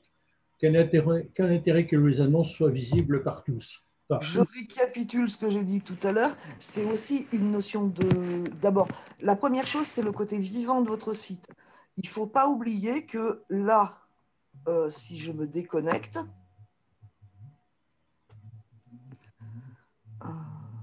le site, il n'est, je ne sais qu'un site est vivant et vous allez bien tous sur un certain nombre de sites internet. Euh, il y a des sites internet, quand vous rentrez dessus, vous voyez, quand vous arrivez dessus, vous voyez bien qu'ils sont des errances et vous voyez qu'ils sont des errances parce que toutes les infos qui sont dessus datent d'Hérode. Donc, le fait que ces deux, les demandes et les offres bougent, que les échanges bougent, donne du vivant déjà à votre site, même lorsqu'en ce moment, par exemple, vos selles ont peu d'activité, etc. Alors, je ne vais pas vous refaire un récapétage, mais là, par exemple, si dans votre accueil, vous ne mettez pas des trucs un peu personnalisés et compagnie, ça fait site mort. Alors, ça, c'est la première, c'est la première raison pour laquelle ces offres et ces demandes sont visibles. On peut les faire disparaître. Il y a des plateformes où euh, les, elles ont été euh, virées de là. Mais la première raison, c'est ça. L'autre raison, et on y revient, et c'est quand même un peu dans les fondamentaux de Community Forge, c'est cette notion de globalité, c'est cette notion de mutuel crédit, c'est le fait que si les selles arrivent à communiquer entre eux, tous les selles ont leur petite maison. Mais après, euh, on va prendre l'exemple d'un lotissement. Chacun sa maison. Voilà. À Tuto, euh, l'arbre à sel, celle de Vasque, euh, celle Saint-Seb, chacun c'est une maison. Il y a ceux qui auront mis une, palissade de 4 mètres de haut avec des barbelés en haut et un mirador. Celui-là, vous ne verrez jamais chez lui. Hein. Et puis d'ailleurs, vous n'avez pas envie de lui causer. De toute façon, quand a une sorte de chez lui, vous ne parlez pas celui-là. Vous avez peur qu'il ait une Kalachnikov planquée sous le siège. Et puis, il y a celui qui a mis des petites fleurs sympas autour de chez lui et à qui bah, vous rendez volontiers service ou à qui vous allez volontiers éventuellement aller demander un service. Euh, il vous manque du sel pour foutre dans les nouilles de ce soir, vous allez volontiers demander à celui qui a les pâquerettes plutôt qu'à celui qui a le mirador et les barbelés. Hein. On est exactement dans cette configuration-là. Est-ce que vous avez, euh, enfin, l'idée des selles, c'est est-ce que vous voulez que chacun soit bien calfeutré dans son petit aquarium, avec le risque, et là, vous, c'est que à force de ne pas ouvrir les fenêtres, des fois, ça finit par sentir un peu le moisi. Hein. Ou est-ce que vous allez dans l'idée qu'il faut aussi que les selles euh, communiquent entre eux, soient vivants entre eux, et c'est ce qui leur donne de la force. C'est l'histoire du petit banc de poissons. Hamlet, chez nous, ça ne s'est passé pas pour rien, c'est une histoire de banc de poissons. Euh, un petit poisson tout seul, il va se faire bouffer par le gros poisson sûr. Quand il y a tout un banc de poissons, ils se font moins bouffer et c'est pas pour rien qu'ils s'organisent comme ça. Est-ce que j'ai répondu à la question? Peut-être que la personne est partie. Ah ben voilà. Mais c'était intéressant. Je crois que. Est-ce qu'il y a encore des questions Sinon, Philippe, là?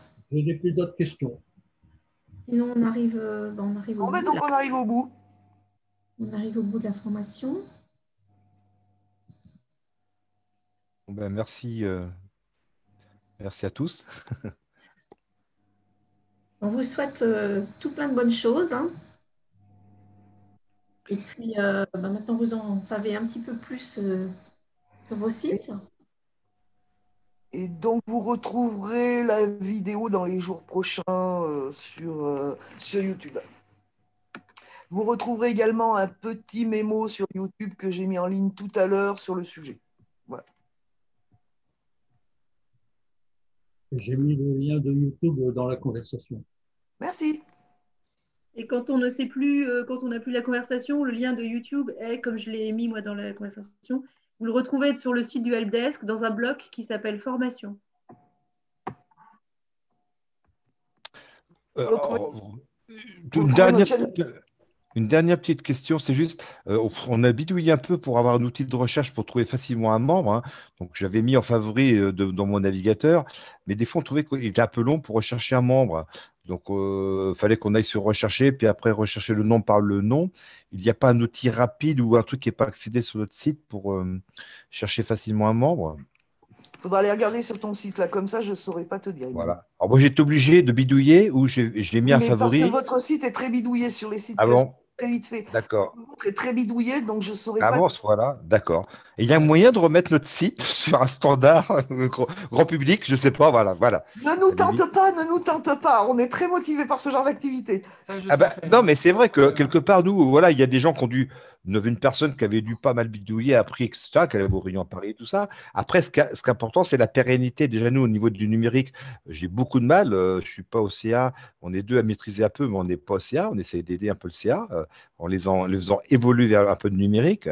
C'est un petit peu mon métier. Et, mais à la fin, euh, bah, les grands standards sont les mieux, puisque la personnalisation, c'est bien, mais euh, la pérenni- faut que ça soit pérenne. Donc, il faut essayer de rester dans des cadres euh, les plus euh, communs possibles. Euh, un site avec le user one Comment? Ouais, il avait, il avait dû Vous avoir le le user user one. one. On a eu. Alors, par contre, moi, j'ai un peu bidouillé une fois. J'ai été, euh, j'ai fait des conneries. J'avais essayé de faire des captures d'écran. J'ai dit bon, avant de, bouger, de, de toucher dans des cases, fais des captures d'écran, voilà. Mais et puis, bah, euh, j'ai peut-être fait des petites bêtises, j'avoue. Oui, non, mais voilà. Donc, euh, non, mais si tu veux qu'on revienne à un standard chez vous, c'est possible. Mais on Ouais. en parle ailleurs parce que là, tu Oui, vois, bah, c'est ça, tout à fait. Non, non, c'était juste un ticket, c'est recherche. plus simple. Ouais, je vais essayer de faire le point avec la personne qui gère depuis au moins six ans. De, mais euh, là, c'est vrai que je lui avais trouvé une astuce pour rechercher un membre facilement. Donc, euh, Donc, fais le point et puis euh, Ouais. après, on repasse par un ticket, quitte à ce qu'on fasse un, un- avec vous. Non, un- on, va, faire un enregistrement vidéo. On va faire une vidéo avec Evelyne. On va vous envoyer une vidéo de, de nos captures d'écran et donc c'est plus simple. On vous souhaite à tous une bonne soirée. Merci. Allez,